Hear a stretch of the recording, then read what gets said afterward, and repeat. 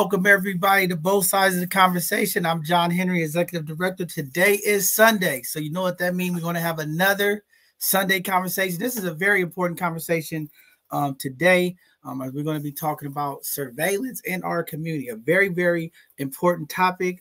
Um, you know, the more cameras, the more problems. We understand it. We see all the stuff that's going on. I think today's uh, conversation is going to be the kickoff to wake up the community about what's going on and how these cameras is going to impact our community. Today, Sister Iola is out. We want to give up prayers to her family. Again, community, there's so much stuff going um, in and happening in the community around the world. And it's just always important that uh, you know we just stay connected, stay connected to our health, our mental health. Folks are going through stuff all over this country, across the world right now. Uh, I was talking to a minister last night, and and she said it perfectly. We're not in our last days, we're in our last hours, the way things is happening around here. So we got to stay uh, focused, stay intentional, and uh, just continue to love and support each other. So excited today for today's show. Uh, my brother Mark is here. So, you know, I'm excited about that, man. It was some phenomenal, phenomenal um, events this weekend that I was able to partake in. Um, you know, we had Director Davis' birthday. Just want to say again, happy birthday to her. Just amazing, uh, powerful sisters. Just, you know, it's so much good happening. Um, that it's always sad when we hear all of the negative stuff that's taking place because we got some phenomenal folks uh, doing some amazing, amazing stuff. Also, I want to give a huge shout out to D&M Racing to my niece. Okay, she is the first black woman to be drag racing 225 miles. This girl be moving down the track. Um, but again, um, it was just great to be able to make it up there and support her yesterday. Um, again, we have some black excellence that is happening um, around this country. Uh, we're, we, we're, we're making history, y'all. We're still moving forward, and that's why I always tell people the, the needle is still moving um, in this country, and things are starting uh, to happen. And, and as we step into 2024, uh, we hope more doors open, more opportunities, more of uh, folks in our community taking the lead and breaking some of these barriers. The ceiling is getting lower. Okay, we we're, we're breaking the ceiling in a lot of areas. We got a lot of work to do, uh, but we are we are definitely making impact and change in the community. Then lastly, want to give a huge shout out uh, to New Beginnings, a phenomenal organization. I was able to go down to San Jose um, on Saturday and help of some of the unhoused folks and folks who are in need. Again, our families, our communities are being impacted economically. Um, so again, when you have uh, foundations and you have organizations um, bringing those supplies and much needed food and things to help out our elders and the people in the community is always a great thing. Um, so just want to give them some acknowledgement and shout out. Y'all know me. I keep telling y'all both sides of the conversation. We will go with our black and brown community. We will help out. Uh, we're not just going to talk about it and um, it was a great event, and it's just amazing to see the impact um, that they're doing in the South Bay, helping our um, uh, brown folks down there, and making sure that uh, community elders um, get the much needed food and support that they need. I don't know if y'all paying attention, but the cost of food is going out of this roof. Okay, I went to the grocery store and I said, "Oh my goodness!"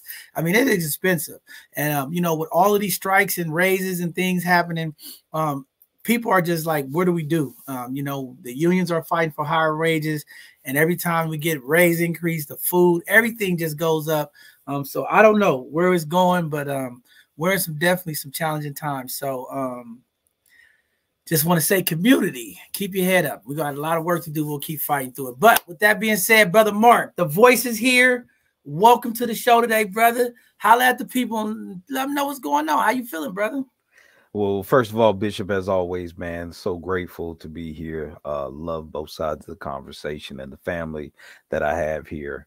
Um, community, much love. Uh, as always, man, I kind of sit in my own uh, world sometimes just meditating, looking at the news, what's going on around the world, looking at what's going on around the nation.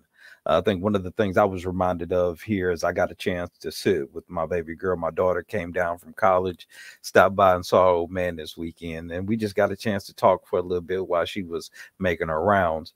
But one of the things that when I'm reminded when we talk about community is sometimes we forget the power that we have with the five to 10 people that we touch on a daily basis and how important it is to just check on each other because when something happens or goes down, it's not what's happening in, around the world, it's what's happening right next door.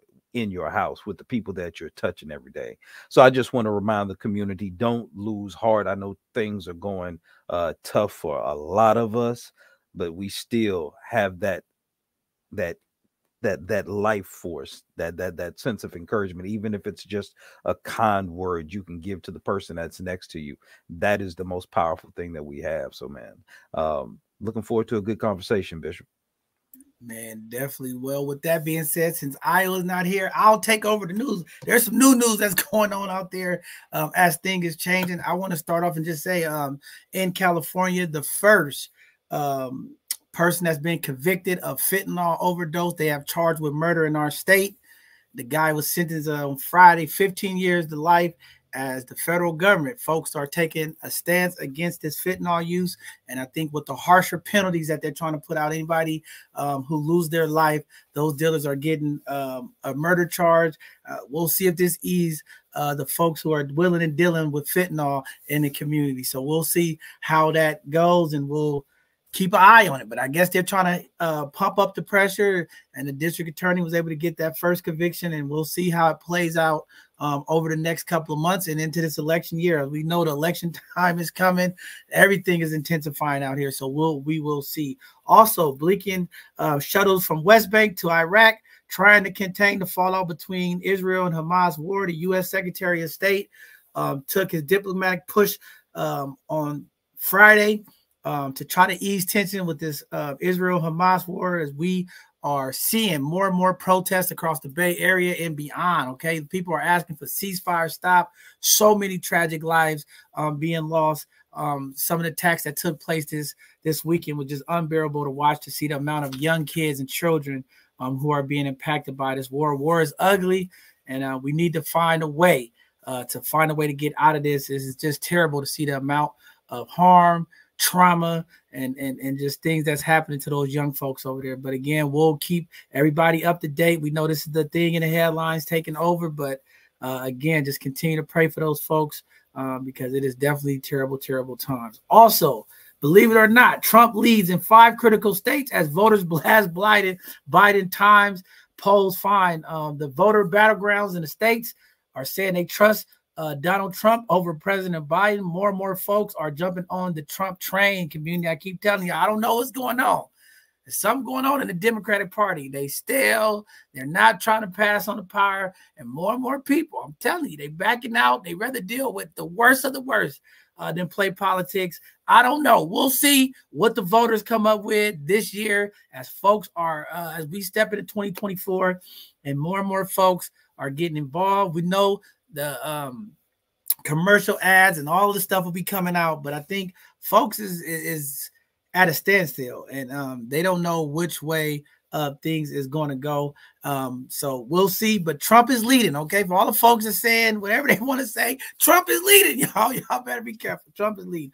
But um, wanted to also um, talk about one of the things um, this week um, on Wednesday. Um, both Senate and House was able to pass a $14 billion uh, package to help aid Israel. And I want to say this, community, because I've been talking about where's the reparations at? Where, what's going on? I'm telling y'all where our reparations is going, okay? They're going to all of these wars across the season, Europe, Ukraine and, and Israel. And um, you know, I just have to say this because I, I, I get mad. And I always tell you I hate the way politics play amongst people. You know, um, we were talking about the government shutdown a month ago, and you know it was all this fighting to get a bill resolved to to, to avoid another shutdown. But isn't it funny how easy both sides could come together to package up 14 billion dollars to send to another country? Community, pay attention to what's going on, okay? When they talk about all the stuff that y'all, I don't know. I'm just telling y'all, pay attention. I was just watching the news this weekend. 115 billion dollars in aid has been sent to Ukraine. I don't know. But when black folks ask for reparations, we keep hearing to talk about reparations. Everybody keeps saying, well, who's going to pay for it? How are they going to pay for this? All I know is, okay, Republican Party, okay, and the Democratic Party was able to come together to give $115 billion to Ukraine, okay? Another $14 billion for this Israel war, okay? So when people get to talking to me about Who's going to pay for reparations? The same people that approved all that. That's all I'm saying, community. We gonna move on. But I had to put that out there because I be trying to tell people, man, don't let these people fool you with their rhetoric. Okay, we could come together and spend money on what we want to in this country. It just ain't black folks. I hope y'all understand that. All right. A man suspect, suspected of decapitating a woman and hiding the head was found in San Francisco. A Bay suspect of killing a woman and hiding her head has been found in San Francisco. Officials said on Tuesday. Uh, the, the man was um, the incident happened in Santa Rosa, and the guy was uh, arrested in San Francisco. 24 year old man um, is is terrible. You know, I mean, we we have some things. We got bodies in suitcases flying, fly, floating around Lake Merritt. We got people chopping heads off. I, I don't know what's going on. I keep telling y'all, there's a volcano that's about to erupt in this country. We got some scary things to watch out for. I don't know where we headed, but it's not looking so good. As the pastor told me yesterday, uh, Rev, the voice, she said, Brother Henry, we're not in our last days. We're in our last hours. Every time I look at the news, it's more gruesome, more things happen. I'll just sit here and say, when is that hour going to hit before everything erupt? But um, unfortunate stuff happened in the news, but that's what's going on locally and around the bay, around the globe. Brother Mark, you could take over the events, brother. Bishop, I don't know how to follow that up, but I'm gonna pull out some of the more positive things that are going on in and around the community. So let's go ahead and get into the event. Big Bucks Racing is presenting the final 1 8 mile Bucks race at Sacramento Raceway. This is an all weekend event from November 3rd through the November the 5th. Race fees will be collected at the front gate. For more info, see the link below. And HCV Section 8 lottery waitlist opening closes November 6, 2023 at 5 p.m. Applications that are not submitted by 5 p.m. will not be processed. Apply online at the link below. And the Latino Task Force is providing Section 8 housing waitlist application assistance November 6th at the LTF Mission Hub at 701 Alhambra Street in San Francisco from 11 a.m. to 7 p.m. Murray's Athletic Development Excellence Foundation presents their interactive speaker series on November the 9th from 6 to 7:30 p.m. at Lincoln High School, located at 2162 24th Street in San Francisco. For more info, see the link below. And both sides of the conversation invites you to nominate a Black San Francisco veteran to win a one hour personal storytelling session with our team. Please provide name, photo, branch, years served, contact info, and S and their San Francisco neighborhood and the reason for nominating them at the email address below. And Into Action announces the Black Culture Preservation Mini Grants Cycle 2 closing on November the 10th, 2023 for December 1st through February 28th of 2024. To apply, see the links below. And California Lawyers for the Arts presents the Bayview Urban Arts Festival on November 11th from 2 to 6 p.m. at the Bayview Opera House. This is a free community event holding art installations and giveaways. For more info, visit the link below. And the San Francisco Bay Area Theater Company invites you to the third New Roots Theater Festival for six performances over three days, Friday through Sunday, November 10th through the 12th at Brava Theater Center, 2781 24th Street in San Francisco. Live stream options are available. For more info, see the link below and the African American Shakespeare Company announces its 2023 24 season beginning with Death of a Salesman, Saturday, October 28th through Sunday, November 12th at the Taub Atrium Theater at 401 Van Ness Avenue in San Francisco. The four series season subscription also includes Cinderella, Pipeline, and The Merchant of Venice. Purchase tickets for one show or the series at the link below. And San Francisco Recovery Theater presents Reflections in Black 2023 New Roots Theater Festival. One weekend, 15 performances, 50 Bay Area artists. From November 10th through the 12th at Brava Theater in San Francisco. Tickets available at the link below. And Dogs Clubs presents the Dogs Got Your Back basketball tournament for boys and girls, third through eighth grade. Register your school or club team for 325 and a three game guarantee. The tournament will be held at the City College of San Francisco. For more info, visit the link below. And join the Rafiki Coalition for Visit the Presidio, walk the Bay Trail, and visit the Golden Gate Bridge Visitor Center on November 13th from 9:30 a.m. to 2 p.m. The free shuttle leaves Rafiki, located at 601 Cesar Chavez Street at 9:30 a.m. Free lunch will be provided. For more info, call or text the number below. And the San Francisco Public Health Foundation, in collaboration with the San Francisco Department of Public Health, is requesting RFPs for the SDDT 2024 Healthy Community Support Grants. Apply now through November 16th for more info, follow the link below. The Fall 2023 Community Creatives Workshop welcomes you to a free family fun event on November 18th from 11 a.m. to 4 p.m. at the Palega Recreation Center, located at 500 Felton Street in San Francisco. Participants can learn or improve a new skill with any of our specialized workshops, topics, sewing, hair braiding, self defense, and beading and jewelry workshops, and enjoy free food and prizes. For more info, register at the link below. And Fathers to Founders presents the Black is Beautiful Health Resort on November 18th from 11 a.m. to 5 p.m. at in the Tenderloin. We are seeking service providers, screeners, testers, and educators. For more info, see the number in the link below. And the AAACC asks you to join them for the Celebrate Black Music event. Save the date, Saturday, November 18th. Info at the link below. Sisters Small Business Saturday hosts holiday gift shopping on November 25th from 1 to 5 p.m. at In the Black 1567 Fillmore Street, San Francisco. To register, visit the link below. And visit the farmers market located at the Southeast Community Center at 1550 Evans Avenue in San Francisco every Thursday now through November 30th from 3 p.m. to 7:30 p.m. They accept cash, debit, and EBT. Mackey's Corner presents Mackey's Corner Christmas on December 3rd for from 1 p.m. to 4 p.m. There will be food, dance, a black Santa, and presents.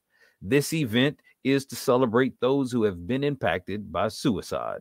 Must register to attend and the San Francisco NAACP celebrates 95 years of service at the annual Freedom Fund Gala, December the 1st, at the Hyatt Regency Grand Ballroom located at 5 Embarcadero Center in San Francisco.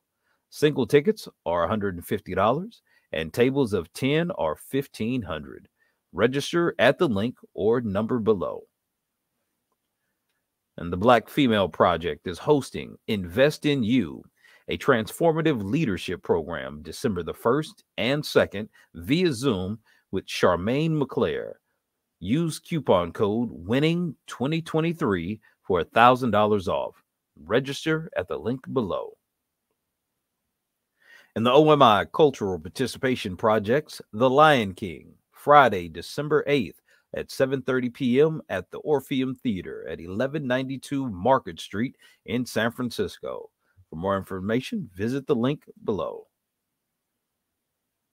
Walters Wellness Group invites you to the Restorative Retreat on December 9th from 9 a.m. to 4 p.m. for a one day retreat where a team of expert facilitators led by Dr. Kathia Walters will guide you through a transformational experience designed to help you get into your body and quiet your mind. For more info and to register, See the link below. Dogs Club presents a holiday hoops basketball tournament for boys and girls, third to eighth grade. Register your school or club team for $325 with a three game guarantee. The tournament will be held at the City College of San Francisco. For more info, visit the link below. And the San Francisco African American Reparations Advisory Committee cordially invite you to be a part of the conversation every second Monday of 2023. You may attend in person at City Hall, located at 1 Dr. Carlton B. Goodlett Place, or online by registering at the link below. And Dreamkeeper SF invites you to join us for community updates every third Wednesday in 2023. These meetings are open to the public via Zoom. For more info and the meeting link, please visit the site below.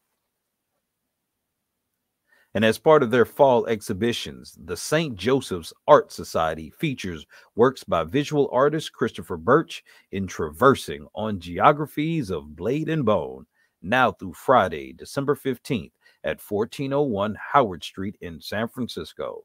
For info, follow the link below. And Wu Yee presents the Holiday Pajama Jam for the Bottles and Blanket Pantry on Saturday, December 16th from 1 to 4 p.m. at 4900 3rd Street in San Francisco. And come out for the Lorraine Hansberry Theater's 2023 24 season. The season starts with a soulful Christmas, a holiday concert with performances Thursday through Sunday, December 14th through the 17th at the Fort Mason Center for Arts and Culture. Tickets are on sale now. And for more info, visit the link below. Register your school's team for FR SAR Academy's Holiday Hoops Basketball Invitational for boys and girls 5th through 8th grade. The tournament starts on December 21st through the 23rd, located at the St. Ignatius College Prep, 2001 37th Avenue, San Francisco. For more info, visit the link below.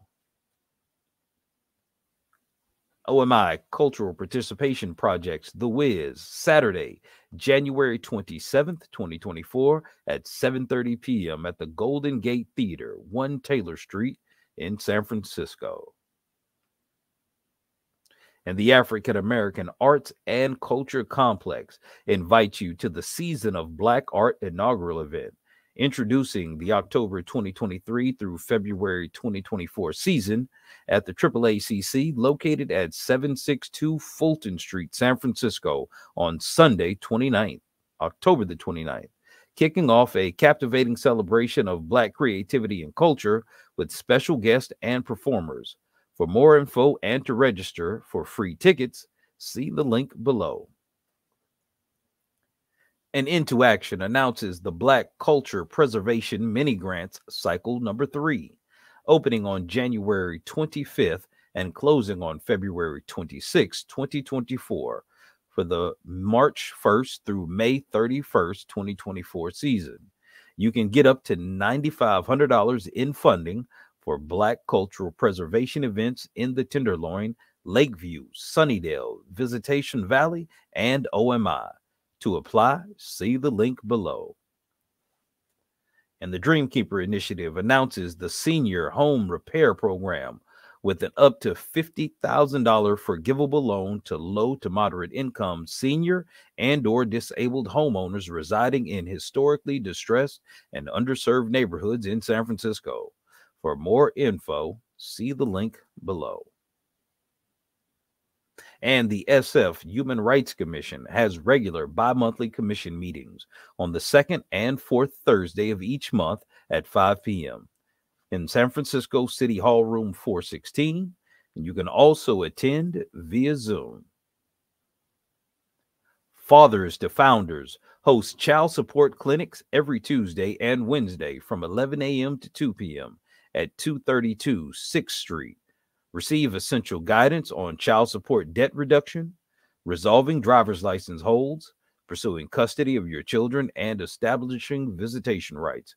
For clinic appointments, call the number below. Dreamkeeper announces the down payment assistance loan program.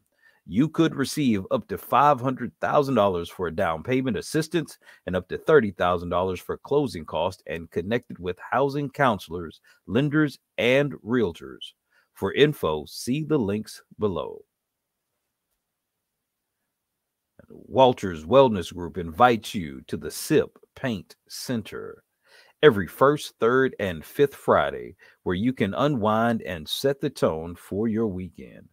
Fueled by tea, creativity, and grounding, hosted by Dr. Kathia Walters, Dr. C, and the Walters Wellness Group. For more info, see the link below. And join Fathers to Founders for Fatherhood Reimagined Therapy group sessions held every Tuesday night from 6 to 7:30 p.m. ongoing, beginning on October the 24th at 232 6th Street in San Francisco. There will be food served at each session. For more info, see the link and the number below. And the APRI is hosting youth workshops offering job referrals, resume building, skill building, internships, professional networking, and community service hours at 1301 Evans Avenue in San Francisco. To schedule a Zoom or phone appointment, see the link or number below.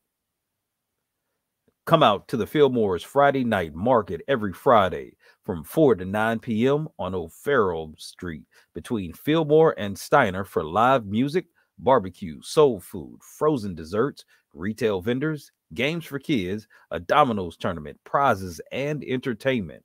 Vendor booths are available. Register at the link below. And get your COVID 19 booster and monkeypox antiviral pill treatment Thursdays 1 to 5 p.m. at 330 Ellis Street, as well as Saturdays 12 to 4 p.m. at 1221 Mission Street.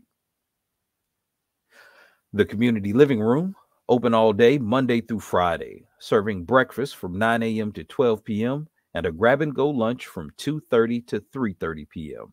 at City of Hope Cafe, 750 Ellis Street in San Francisco. And the San Francisco Office of Financial Empowerment announces Smart Money Coaching, which provides free, confidential, one on one financial guidance.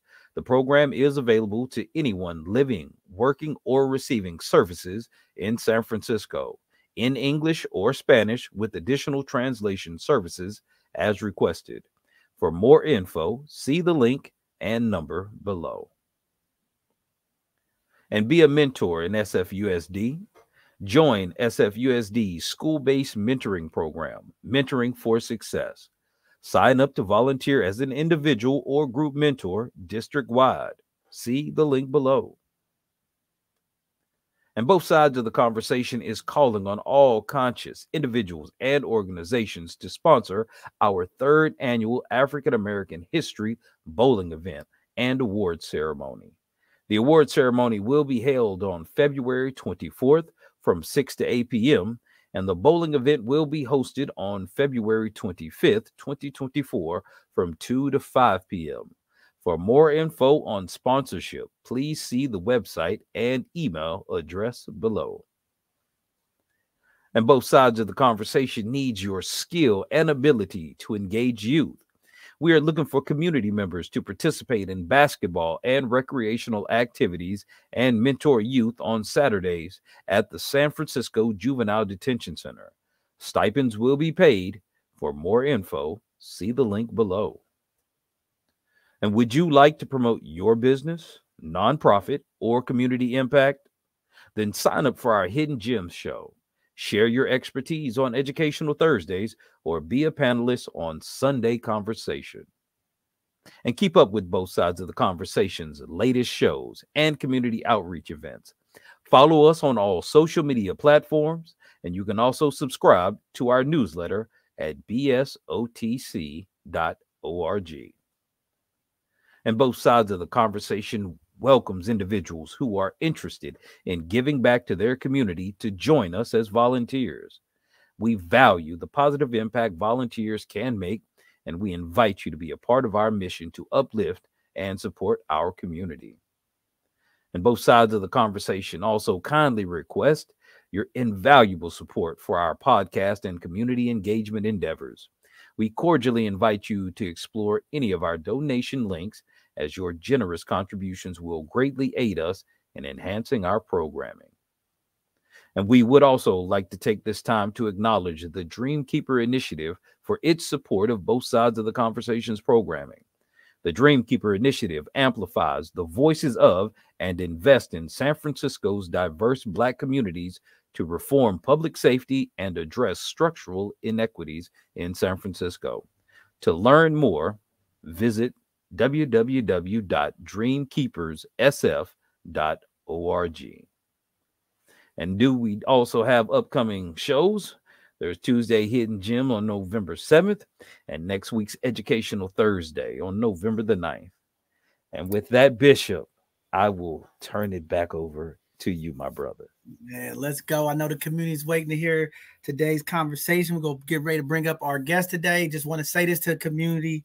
Um, I know those are a lot of announcements, okay, but we're trying to do our part to make sure the community hears the resources, what's going on um, around the city, around the Bay.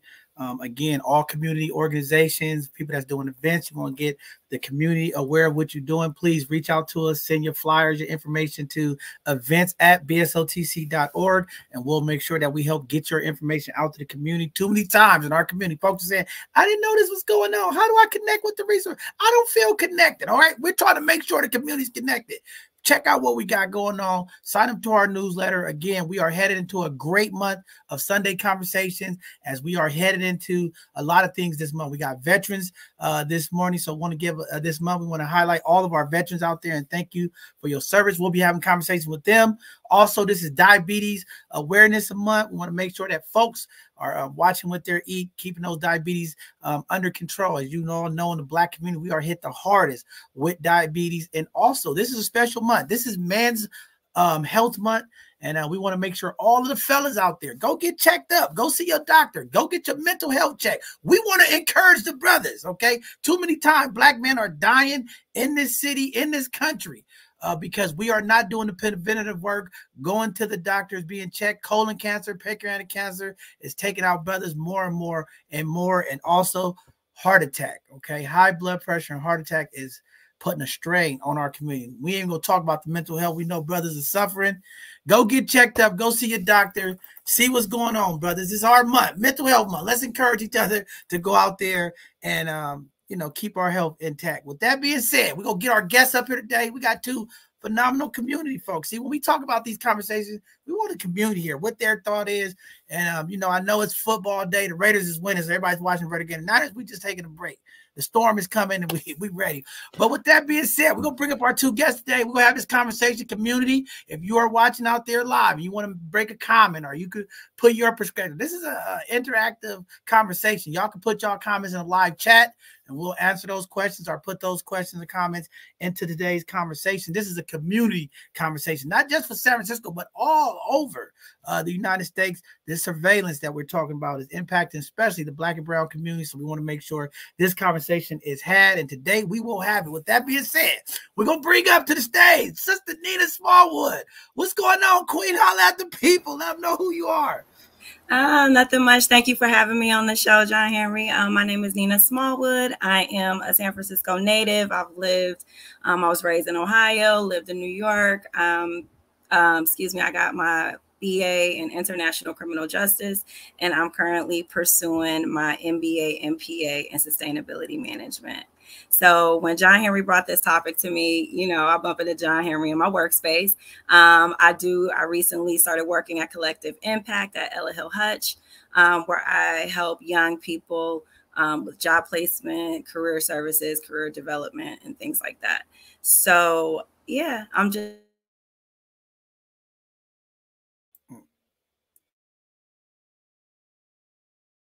I think she might have froze up. Well, we'll get her back when she get unfrozen. Uh, but Nina, we are happy that you are here. Uh, she has a great um, knowledge and perspective, And uh, man, I'm, I'm, looking forward to hearing um, her speak today. But we'll get her back on as we know Wi-Fi technology. When we start talking about surveillance, they start messing with our surveillance. I don't know, but we'll we'll we'll get, we'll get her back up. Uh, I see you there. You kind of froze up, but uh, we'll get you back. But we happy to hear you, have you here today, and we know uh, you have an amazing perspective, and that's why I wanted you to be a part of this conversation um, because I know you you, you have a, a dialogue that's just all over the place. That's great for community too. With that being said, we're gonna bring up this brother. He's been here. He knows what's going on. My brother Rico. Y'all know when Rico come here, we get this conversation gonna be lit. You know, Rico gonna make us think. He gonna make us dig deep. See, when you got folks in the community that's thinkers, see, we have to have independent thinkers. And let me tell y'all, Rico got that sauce. I don't care what y'all say. Rico got that sauce. And I know today the conversation is going to open up some folks' mind when we talk about this surveillance. Rico, welcome back. You are both sides of the conversation. How no, at the sure. people, Rico. No, for, for, sure, for sure. What's up, John? What's up, Mark? How you doing, Nina? Uh, I'm Rico. Uh, y'all know, born and raised here in San Francisco, a native um, to the entire city. I've been doing the work for 22 years now. Uh, super happy to be giving back to the community. I have my own um, business that I have now, which is uh, I'm the CEO of Black Community Equity Group. We're an equity firm that helps nonprofits and corporate companies to find equity within their organizations and showing them to create equitable structures to bring people of color within their uh, their their organization or businesses. Um, also, I'm on the San Francisco Reparation Advisory Committee, and then do a bunch of other stuff with John Henry and and a whole host of other people. Uh, but I'm happy to uh, be a part of this conversation because it's definitely um, it's just it's that time because uh, what we don't do today it's gonna hurt us in the in, in the future. So so these are this is one of those conversations that we got to have right now so that we don't be blindsided later. Man, definitely, Rick. Rick, happy to have you back. Looking forward. We got some things we're talking about, working on, and I'm excited. Community. Rick Rico's always thinking about how to impact Black folks, and that's what it's all about. How do we impact our community?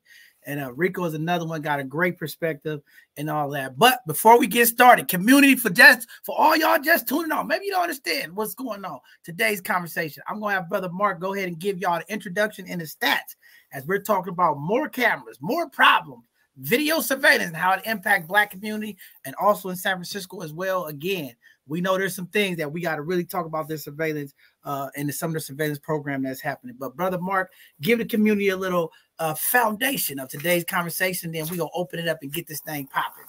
Yes, sir. My pleasure. Through the violent birth of the U.S., produced racially biased government monitoring from its very start. It wasn't until 1956 that the counterintelligence program of the Federal Bureau of Investigation was created.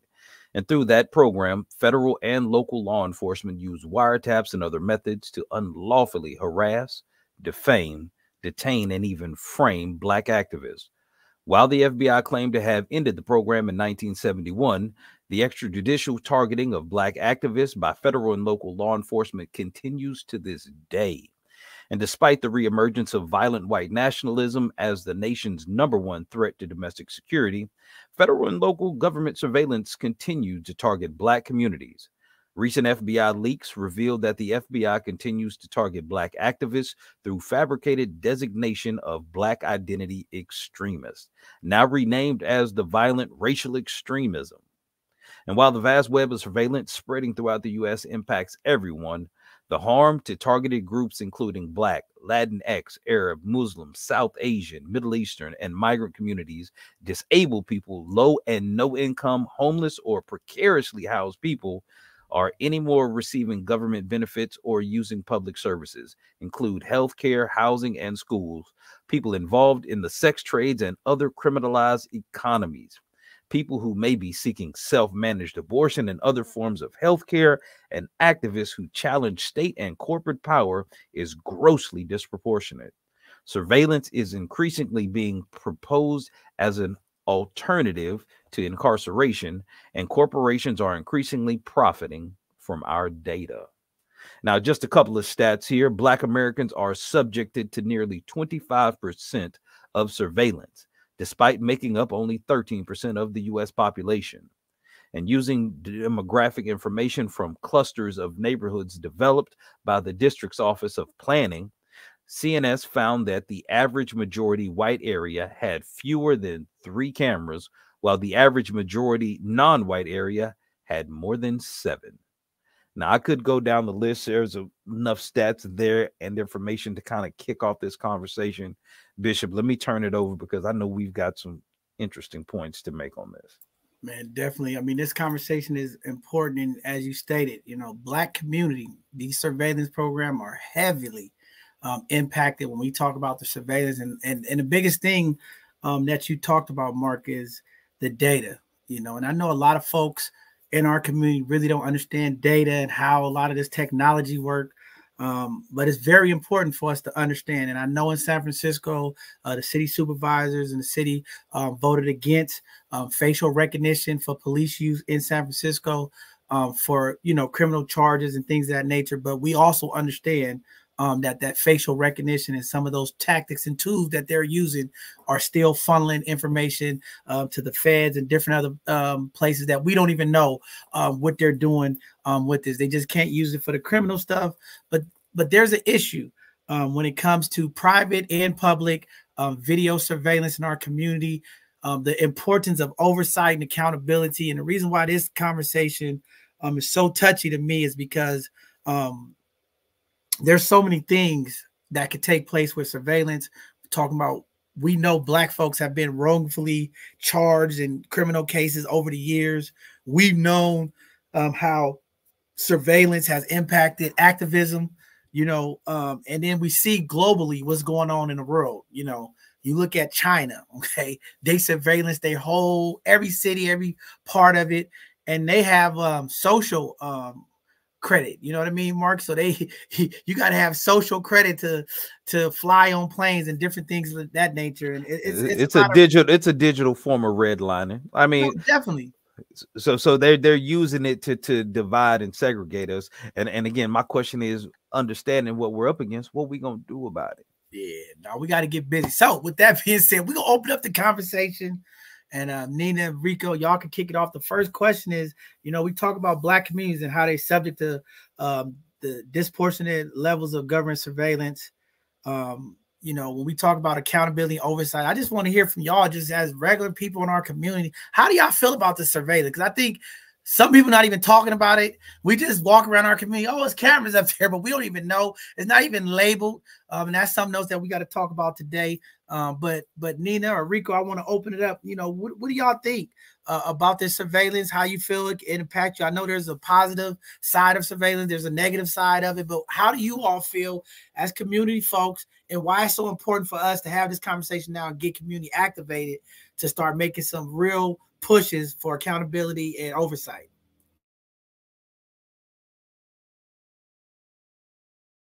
Let's see. Um, I got a lot of thoughts. I got a lot of thoughts about, um, you know, surveillance, but a person's right to surveillance in public is expectant, right? People have an expectant right to privacy. It is not, and that's where the law stands, but it is interesting to see that public people or private companies have started to install cameras around the city and things like that. But it's no different from small businesses having cameras all on their buildings. So for me, it's not that I feel so much about the surveillance or about it because I just assume that I'm being filmed everywhere. And especially now that everyone has put social media, we willingly have given people our data for free.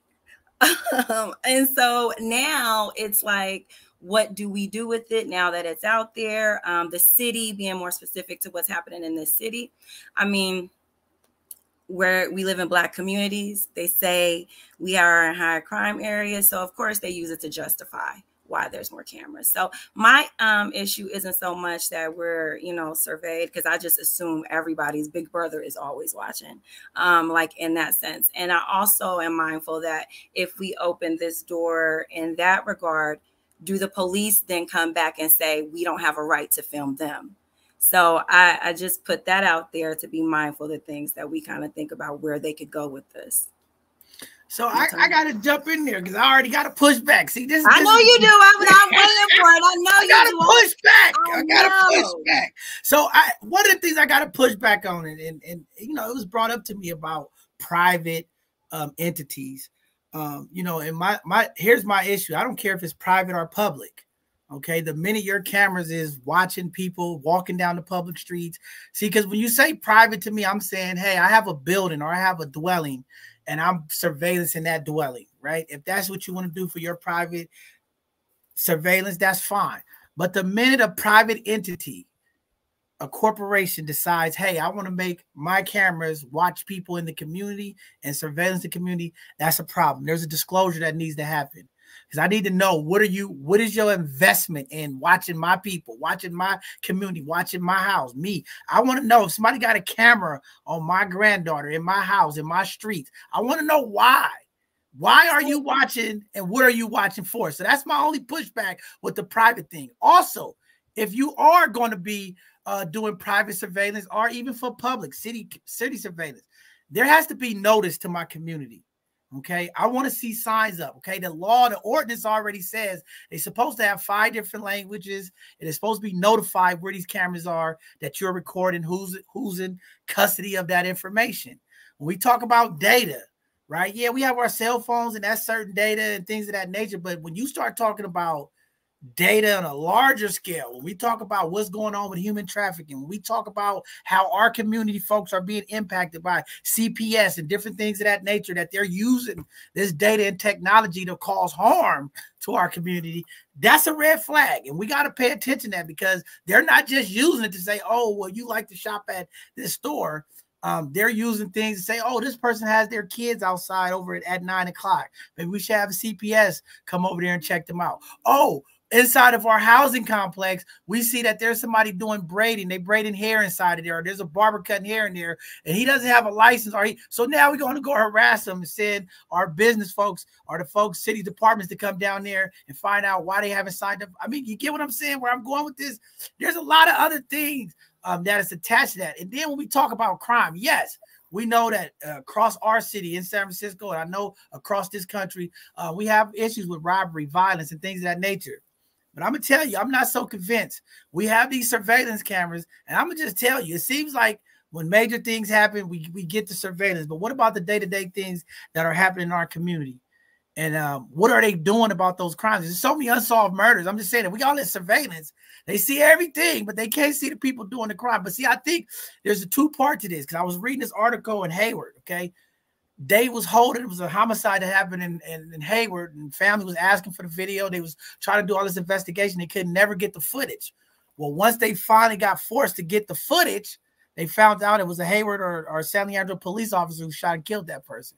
Oh, yeah, we got to talk about that, right? And then when we talk about private surveillance, okay, and versus public, see, in San Francisco and across the country, there's a certain protocol that police officers have to do to request footage from a city uh, entity to get that footage. Now, when you have private entities serving as a backdoor for the police, okay, where they don't have to go through the city process to mark down who's requesting this information and all of that, it starts to make me want to, you know, I'm scratching my head. I want to know what's going on, right? Because if the city has this strenuous process, you know, to get the the Muni cameras, to get the city cameras that the city have up there, you know, there's a process you got to go through. It's very strenuous to get that footage, right? But when you have these nonprofits, when you have these entities, these private entities who are in the interest of law enforcement and other entities, and we're giving them easy access to surveillance without going through that rigorous process of the city,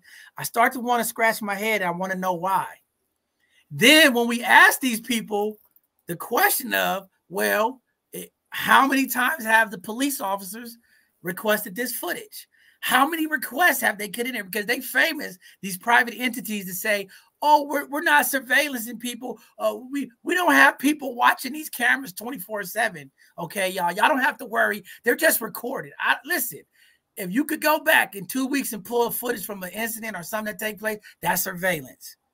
Okay, it doesn't matter if you got employees sitting there watching the cameras 24 7. If those cameras are live and they are recording 24 7, that is surveillance. And at that point, when you're putting that in our communities, we have a right as community folks, taxpayers to know how many cameras are they? Where are they located at? Are all of the cameras labeled properly, stating that they're monitoring and who's in charge of them? And we have the right to have the data Because again, if private entities are saying, "Hey, we're putting these up on our businesses just in case we get robbed, and we go give this to uh, the police department for investigation," as community, we have a right to know how many requests from law enforcement monthly are being used, especially in these hot areas that we know is high crime. How many times are they requesting this information? Because we don't have oversight, because we don't have community involvement. We don't know. They're just telling us, oh, we don't have nobody watching it. We're not surveilling. We don't know.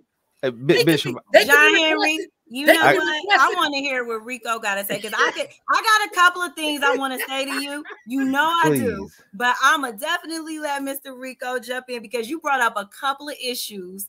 You brought up like four different issues in that, but I'm, ahead, Rick, but that's what my concern is. Come on, big brother Rico, talk no, to for us. sure. I, I, have a bunch of issues, and it's disheartening that that we're at this point. Um, eight years ago, uh, when public housing uh, in San Francisco transitioned over to RAD, and it was a huge fight. I mean, we we fought, and it was a bunch of us who was in the fight. Um, we wish we would we would have had more community members out there to actually fight because when we were under public housing, we actually had more uh, power as a community to actually dictate what we wanted. Uh, but when it went private, and you get all these McCormack Barons and these different private companies, it changed the whole narrative for our community. A lot of people actually got pushed out within the last eight years, and then also they were able to do pretty much what they wanted.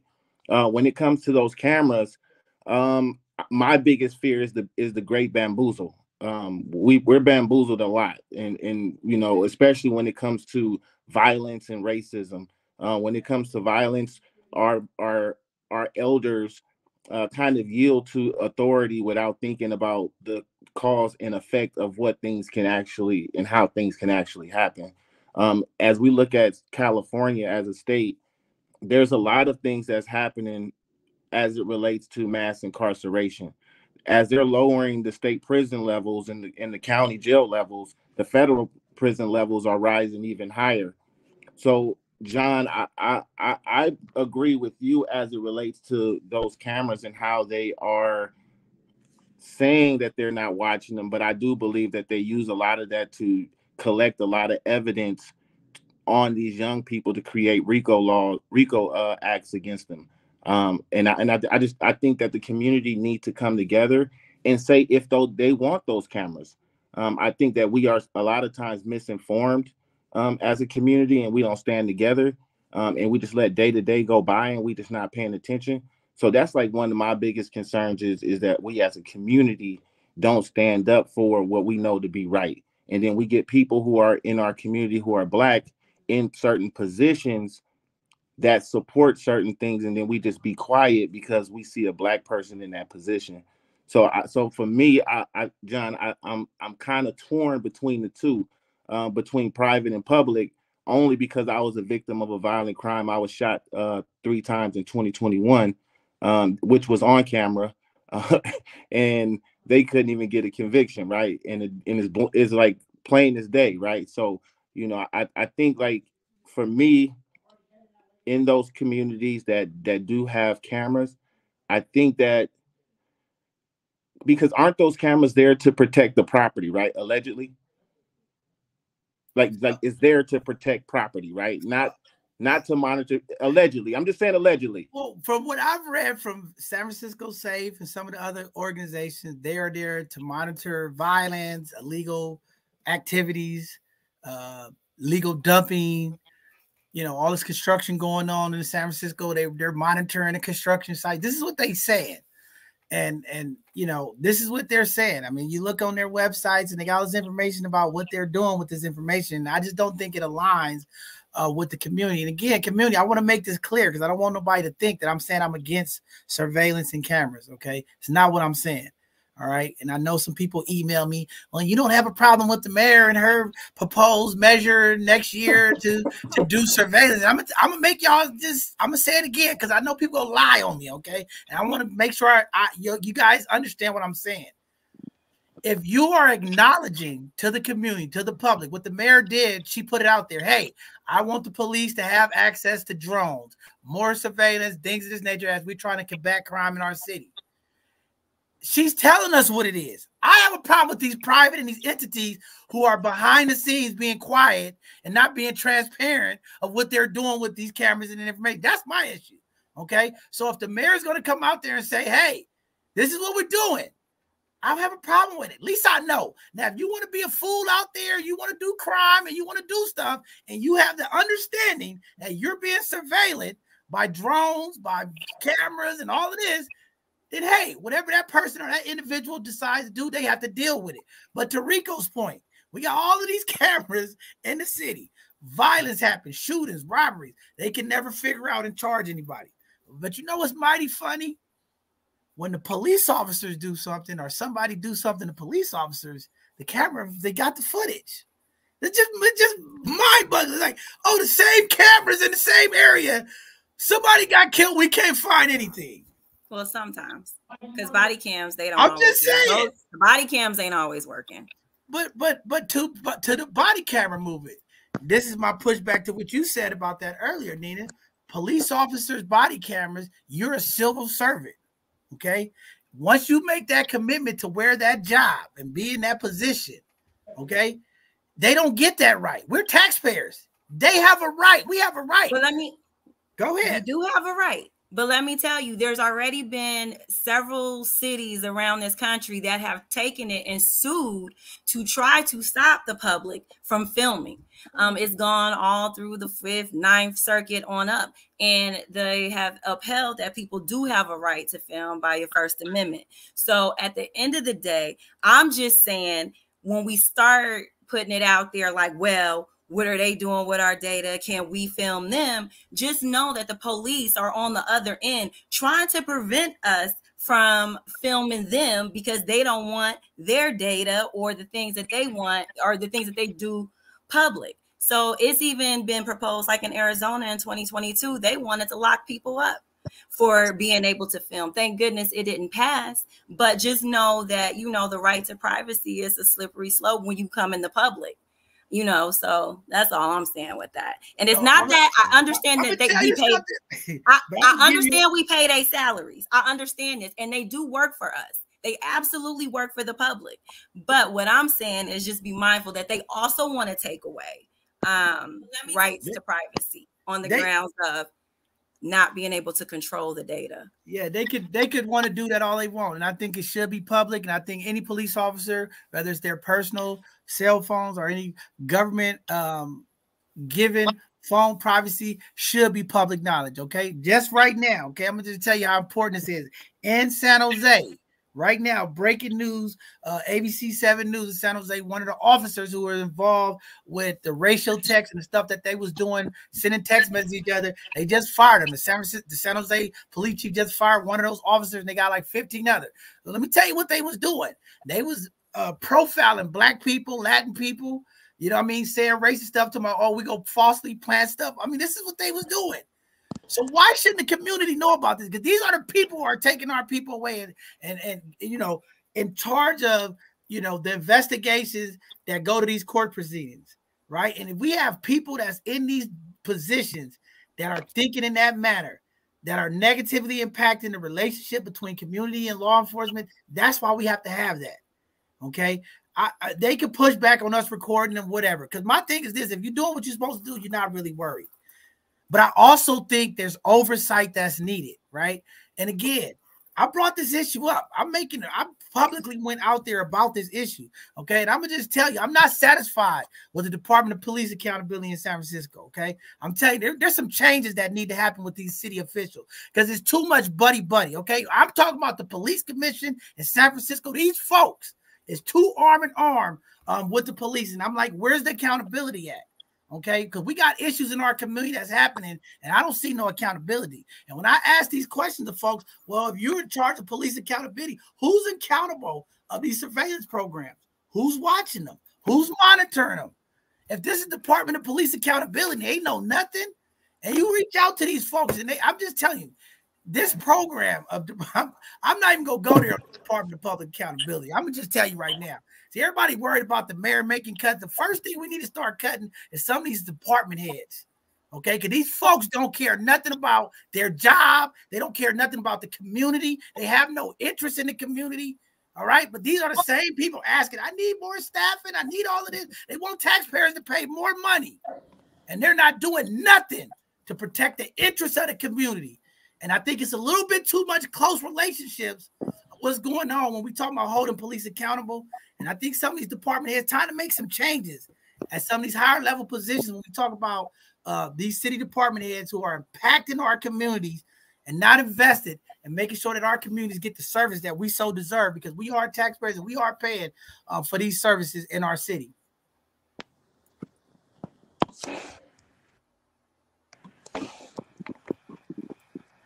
Go here, Rick. I, I don't know. No, right, right. I mean, I thought I was, I was waiting for Mark. I thought he had something. Well, well I, I but, again, there, there's so many things that, that you could say about it, and, and I, I think about it kind of big picture. I mean, I'll be honest.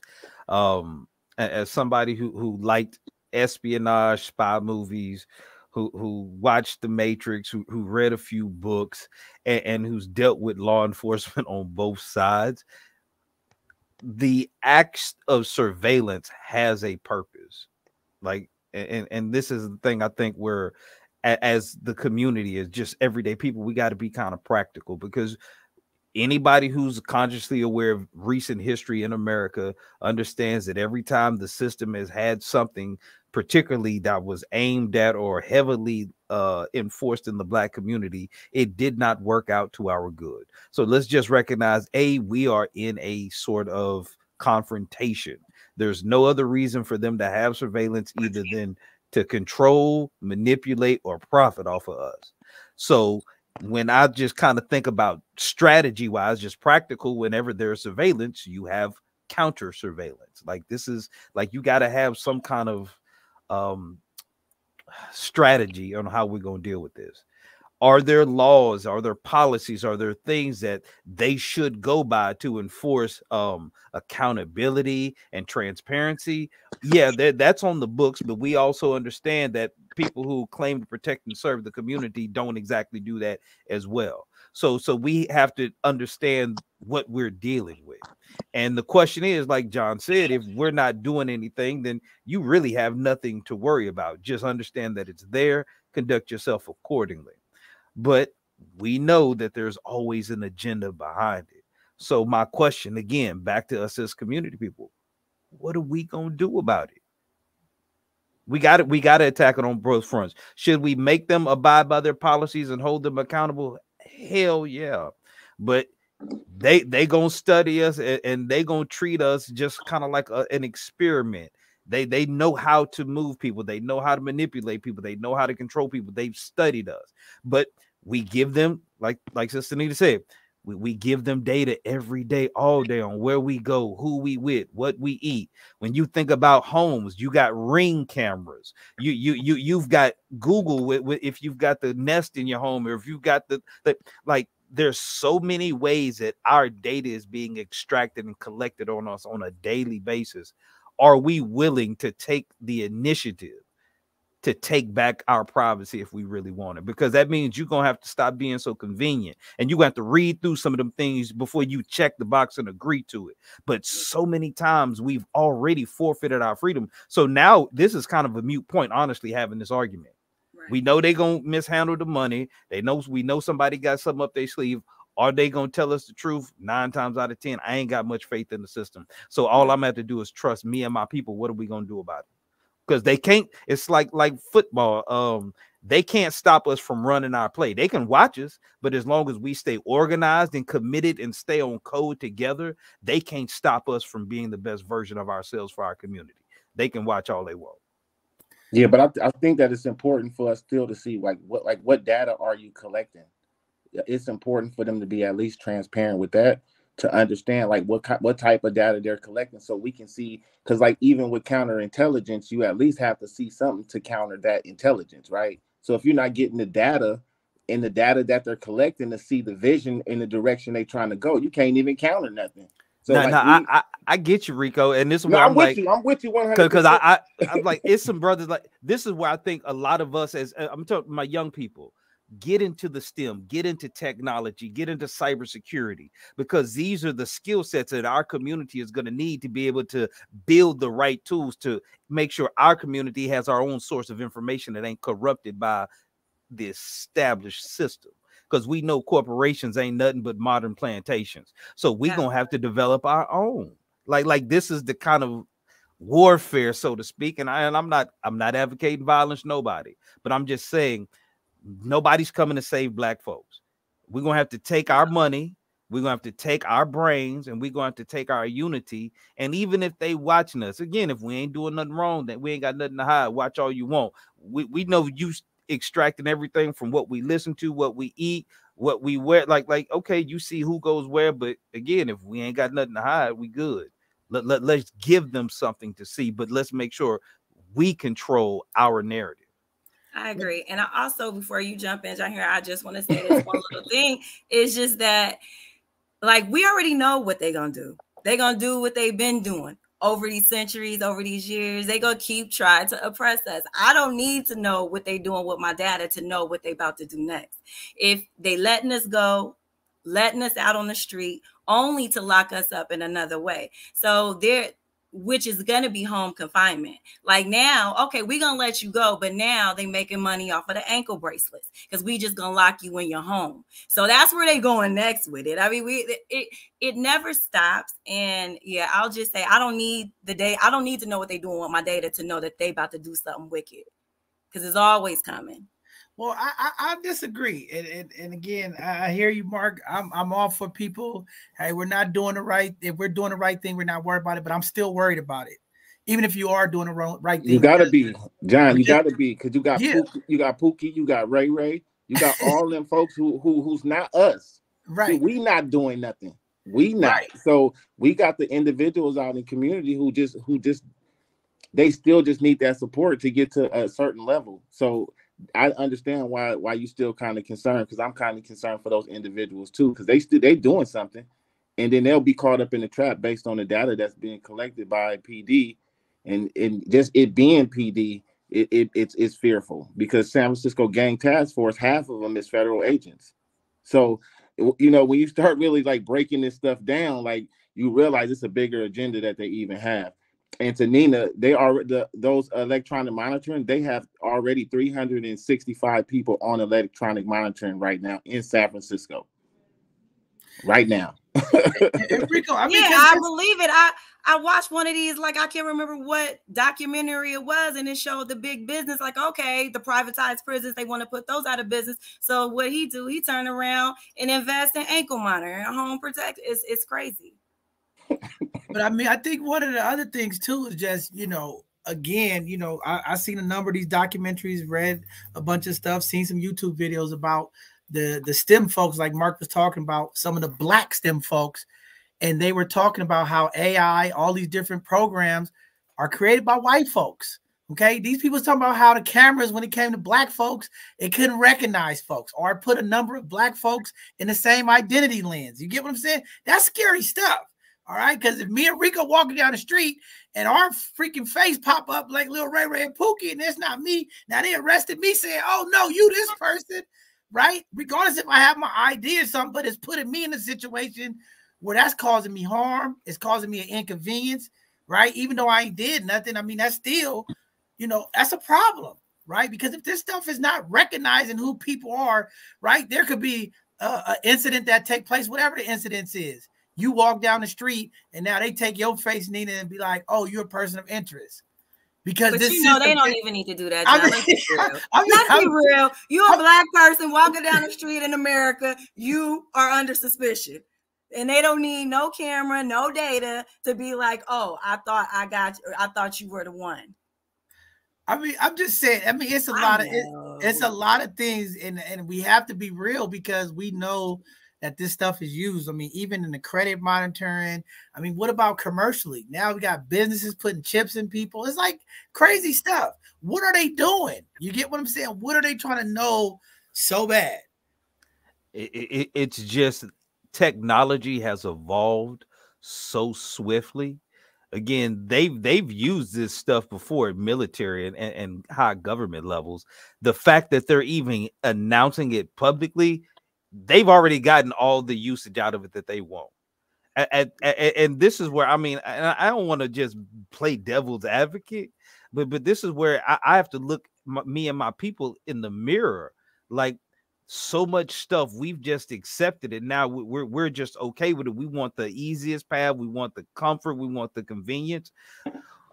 If we want to change our position in the world as a community we're going to have to do more we're going to have to do things differently nobody's handing us anything so when we see that okay technology is the big play now we're going to have to be just as aggressive about pushing our young people into the sciences, into technologies, instead of pushing them into sports and entertainment. Like these are high level conversations as a community we need to continue to have.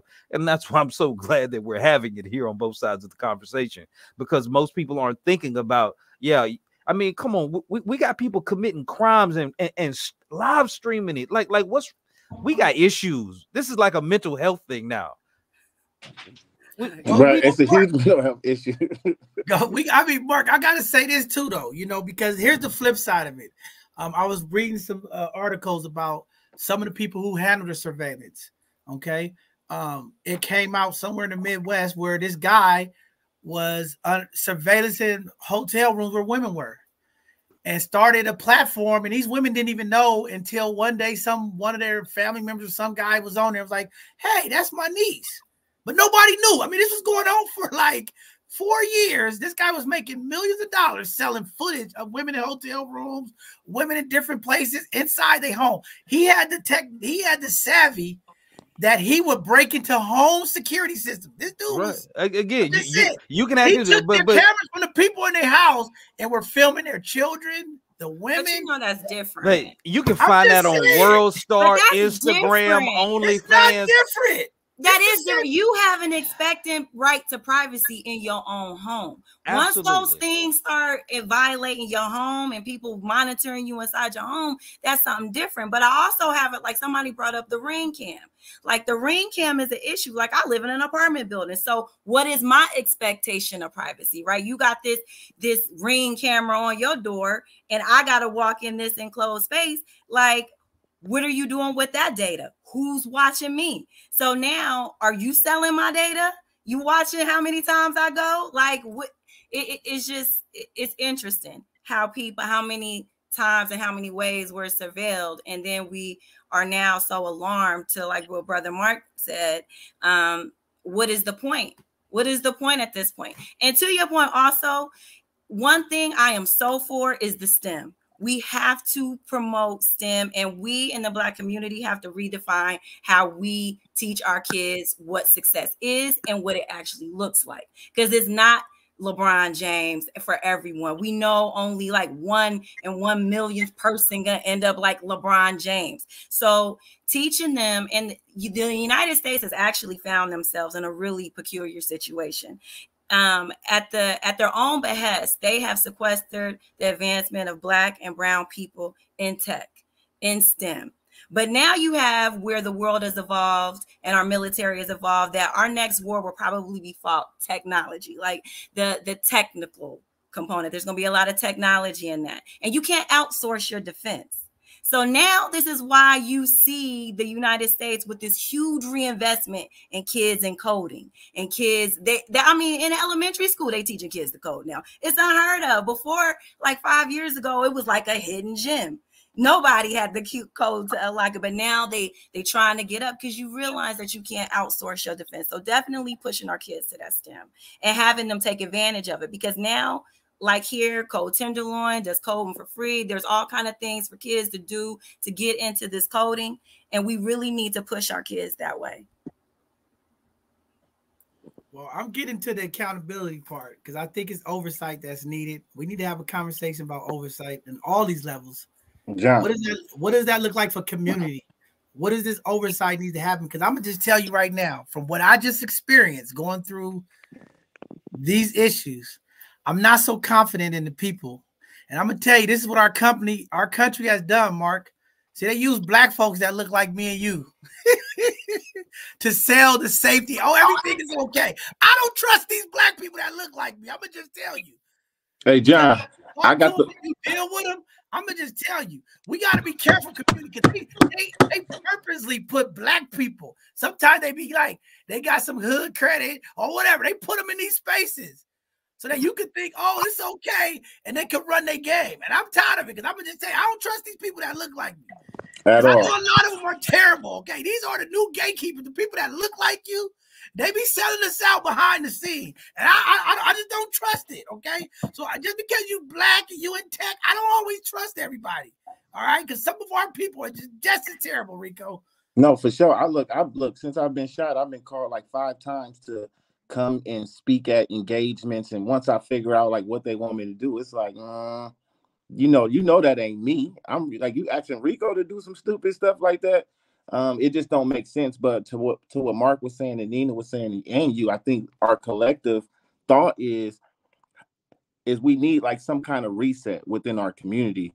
We need like the great reset within community. And we just got to figure out how do we like uh create a new foundation because like currently the foundation we own is embedded in white supremacy and we can pretend that it's not and we can act like our most educated individuals they don't talk within white supremacy and we can pretend that but i think we just need that great reset and then that way john we can start holding each other accountable because i think our fear is is who want to make the sacrifice?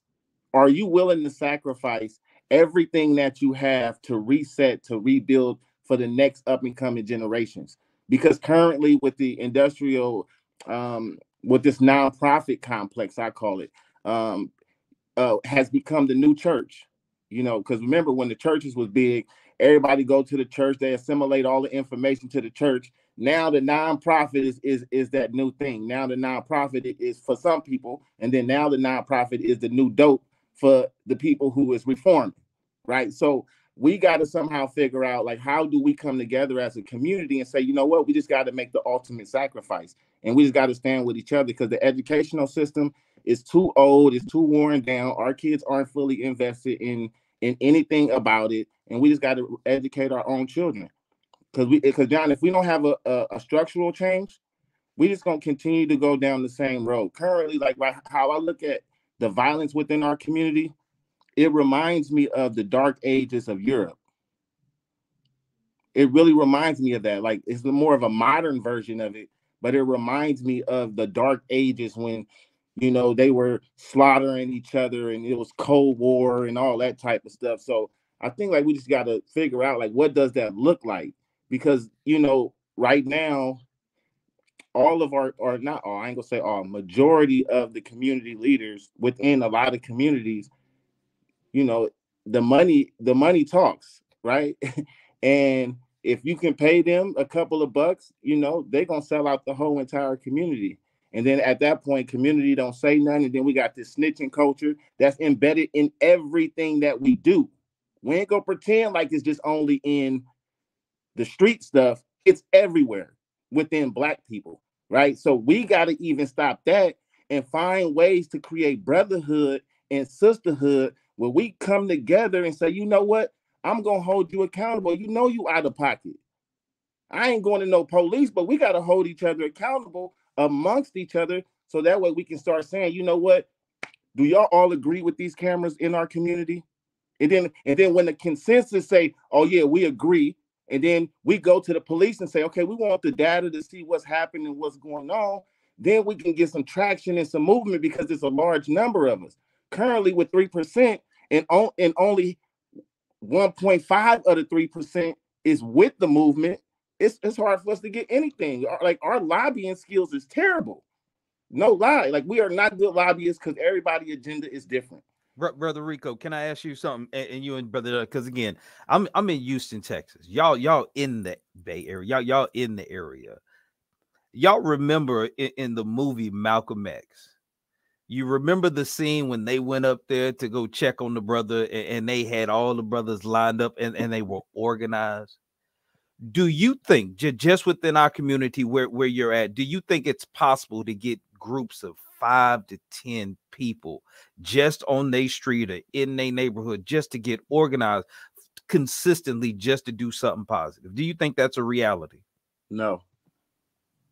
We've so, tried so, it. in- so, so how, how can, so, so I- I'm glad you're being honest. So let, let, let's be real. How can we expect to have any unity to go about any policy or, or get laws changed if we can't even organize just to come together for something good? Like, like we got to build a nation from the foundation. That's what we're literally we're trying to do is we're trying to restore our nation within a nation and we can't even get on code together for simple stuff yet.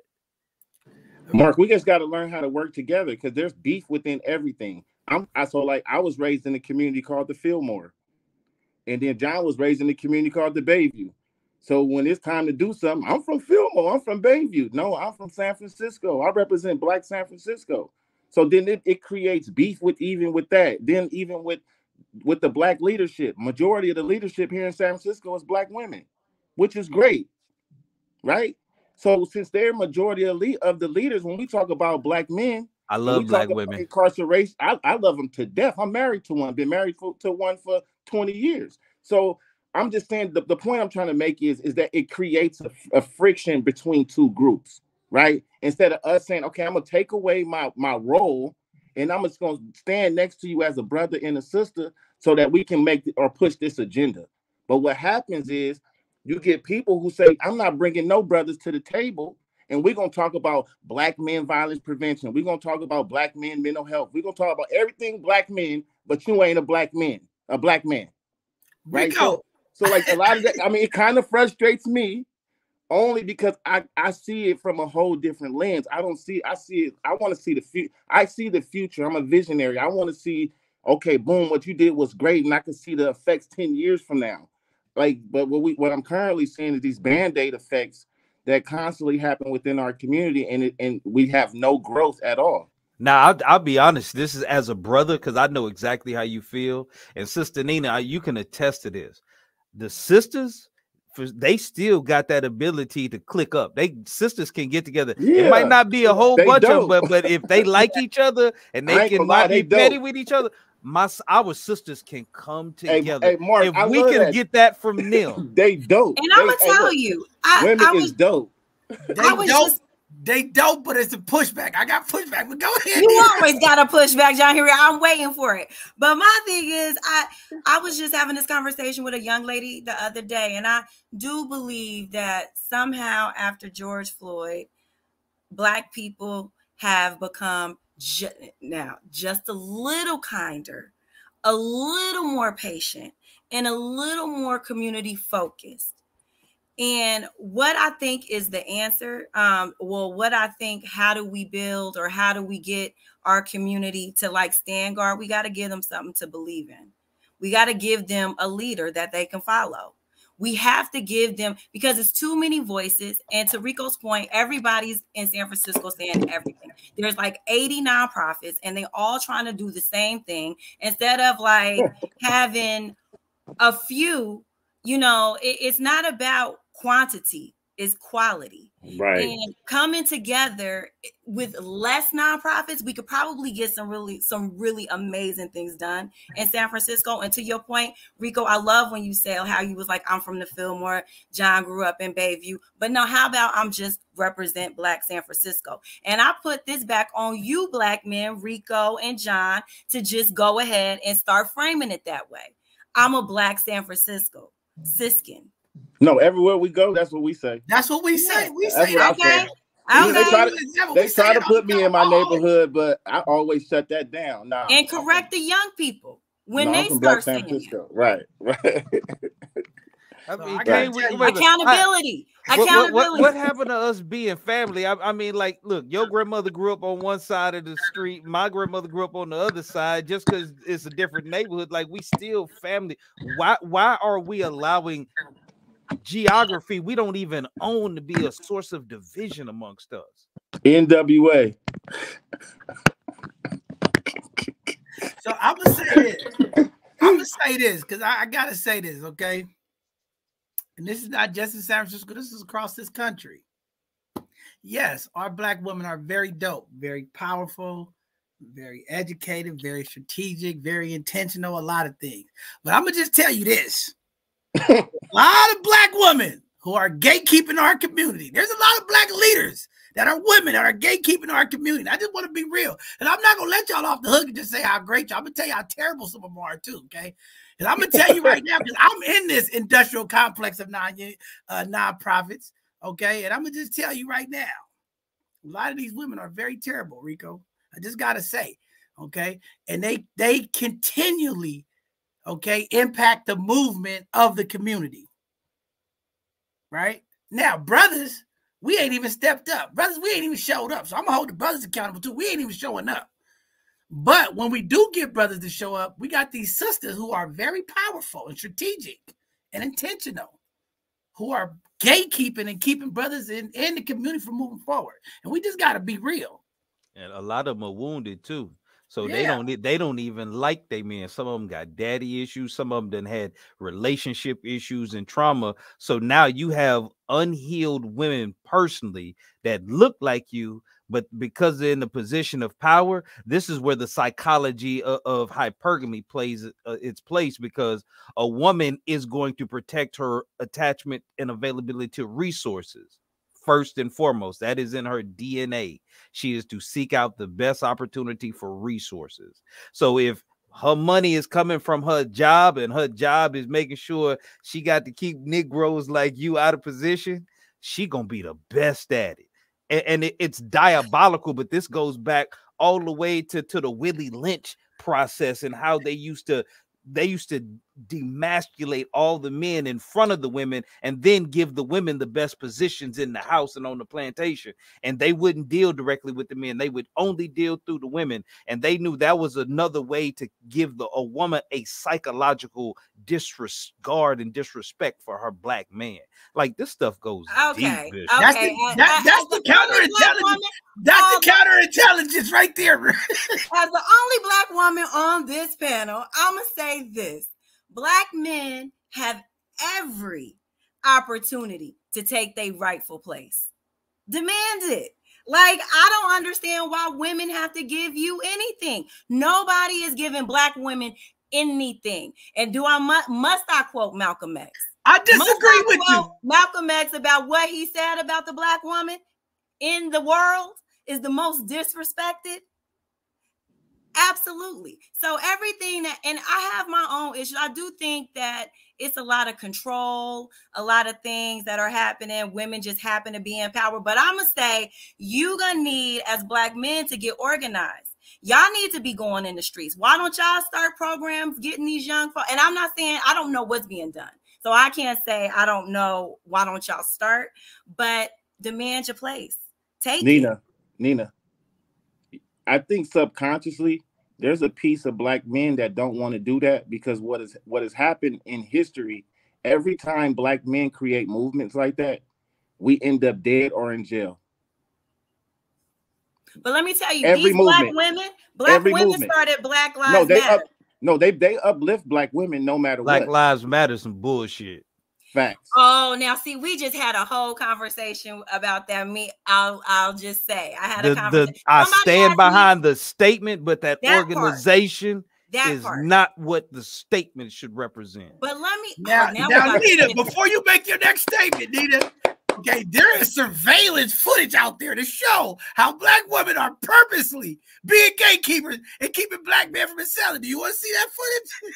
there are there are gatekeeping black women keeping black women out of stuff. So at the same time, it's very cliquish too. But I do think we are doing a better job of uplifting one another. But I'm gonna say Black. I just gotta say this about Black Lives Matter. I stand on the words that it says, but like you see how quick they were able to tear down that movement. It took them all of like three months. They leaked the woman bought a house, this one did that. But how does the NRA support itself?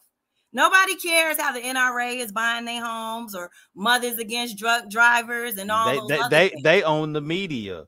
Again, they also own Black Lives Matter. They put the money up. They used it as a front to flip because they know we gonna tear ourselves down even more. Again, our own people have been used as agents against us. every uh black leader in Africa was that was uh assassinated, it was somebody next to him. Malcolm X was killed by people. It, it's always us. It, they they know how to use us. They they keep Barack Obama on us. Like they're gonna give us something that looks like that we relate to, but they're gonna have their agenda. They don't have the same spirit, the same mindset as true black people. I mean, you think about all these people in fraternities. You got a bunch of grown African descendants pretending, pledging allegiance to be Greek. Come on now. If you really understood history and how Greek people were, we, black folks would not be pledging their allegiance to be part of nothing that's considered I'm Greek. They would go back to the original origins in Africa and get that same knowledge. But but this is growing up in America. One of the unfortunate dysfunctions we have is we can't even recognize how sick we are because we've never had our trauma addressed or dealt with. And we're just expected to look at life like everybody else, like we ain't never been through nothing and, and suck it up. And, and we're just at a point we're, we're, we're not going to keep taking the younger generations coming up. They're looking at us wondering why we kept putting up with so much. They're not going to take it. And we have to do our part to give them more information and a better opportunity to live in a way that is true to who they really are, not just trying to buy into the system. We came up still in the generation we was trying to shuck and jive just to get on the corporate plantation, have a comfortable life. That don't work.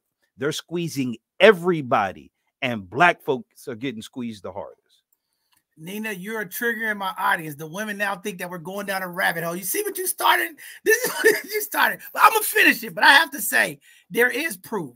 Um, because when you say that there these advancements are not happening for black women, you got to look at the programming that has been provided to them, right? It was a it was a point in 2000 to like 2008 where uh the same access to education for black men and black women was like five to one. They would give black women full scholarship, programming and support. They didn't get that to black men. So that's an advantage right there, right? When you look at housing, okay, black women, single mothers was getting access to housing and childcare to go to school to learn.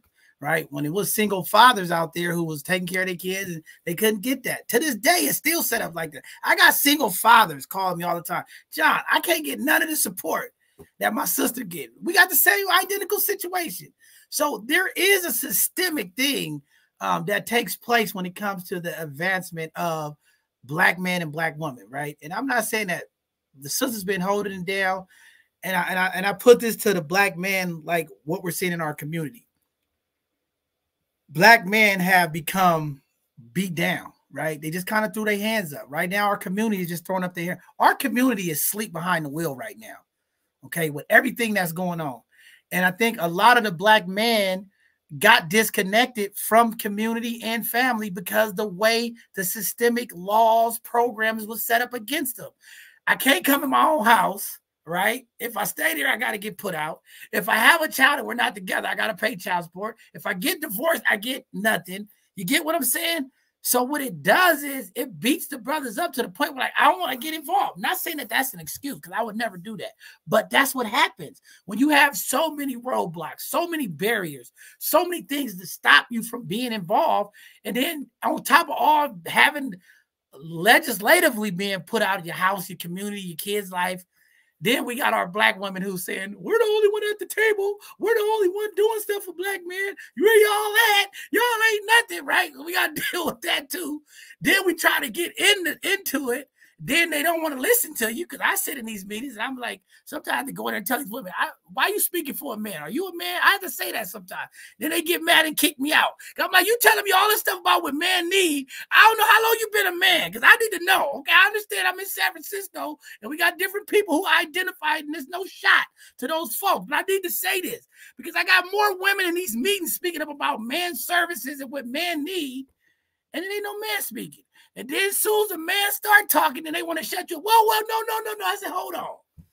I don't want to hear from you no more. I had enough. Close your mouth. I don't want to hear nothing. Let the man speak for what they need. Let the man come to the table and have their budget and do the things the way they want, not the way women want to do it. I got a lot of women trying to create man programming. Man, we want to have this for man, and this house go run. I'm saying that's not what brothers want. You know what I'm saying? We can't even come together. We got Father's Day coming up. I got all these women trying to tell fathers what they want for Father's Day. I'm still confused. I'm like, hold on. When do the men say what they want? It's our day. And even on our day, I got a bunch of women telling men what they should do. I don't know. We got a problem out there, ladies. Y'all got to do a better job. Stay in y'all place. Okay? Be oh, not staying. oh my gosh. Stay in our place. Oh, you killing me. You killing me. You killing me. I think that, would, that I would be a funny. I would be a funny. I think everybody should assume a role. I think everyone should assume a role and let I think people like women should speak for women and men should speak for men. Can we at and together we speak for community? Exactly. Thank you, brother Rico. Thank you because we do need some more empathy in the conversation. Because I ain't gonna lie, we both got got got some issues on this as far as men and women go. But we do need to acknowledge the other side with some empathy, not just waiting to respond. Yeah, I agree.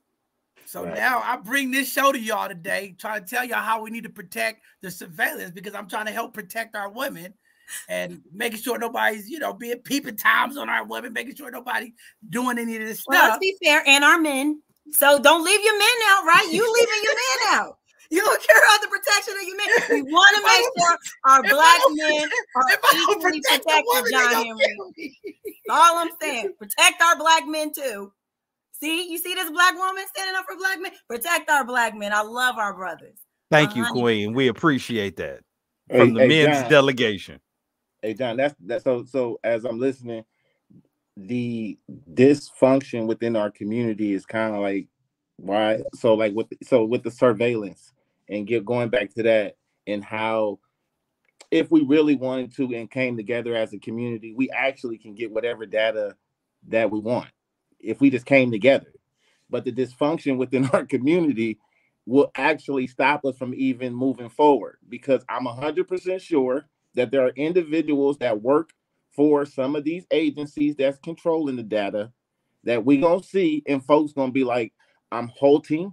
I don't want that person to lose a job. I don't want no conflict with this individual. So the dysfunction within our community is what stops our progress all the time. So we, yeah, we just gotta stop battling, John. The battle, the battle, you know. I don't want to battle. I just want I just want Nina to know when you get married, Nina. Okay, because I know you're getting close. Okay, when that man used surveillance to track you around and watch what you just remember you agreed to it. Okay, you okay with it? Not when he's surveilling me around. Uh, well, the good thing is he has an Android. I have an iPhone, so there's no family tracking happening there. Maybe you drop an, AirPad or Air, whatever those things are. AirPod, but no, I, yeah, one of those things. Oh, but it's I gonna tag air tag. Yeah, the air tag, the air tag. But yeah, surveillance. But but I think one of the things that we could do, and you know, I can't wait as a community leader, you know, to have all of the organizations that I would like when it comes to these issues when they come up. And I think Mark said it earlier, you know, media has a big influence, right? If we can't get our community organized, one thing as media and and and what we do to keep that light on what the issue is. You know what I mean? Because it might not be a lot of us, but if we utilize our community media, and I think that's what's the most important thing um, that black people, brown people, we have to do is we have to create our own media that we can highlight and put the pressure on these systems, these institutions, these lawmakers, and these elected officials um, to hold them accountable. Because we're not going to have everybody on code. We're not going to get the whole community together. But we know what media does to expose and put pressure on people. So what I can only thing that I can really do is utilize our voice as a community media to make sure that we highlight and address these issues, right? And and, and we know what the community is feeling because they're complaining about it. I'm telling you, the reason why all this is coming up, the community wants oversight. The community wants to know. We got families in our community that are frustrated because they're like, there's cameras everywhere, John. My daughter was killed. My son was killed.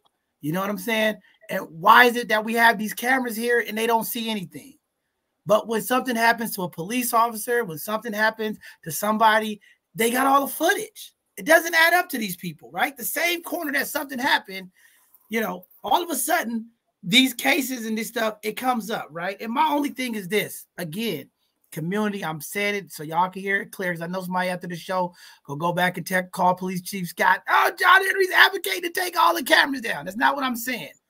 All I'm saying is there's oversight that is needed. We need a community oversight group to also be a part of the monitoring of these programs, right?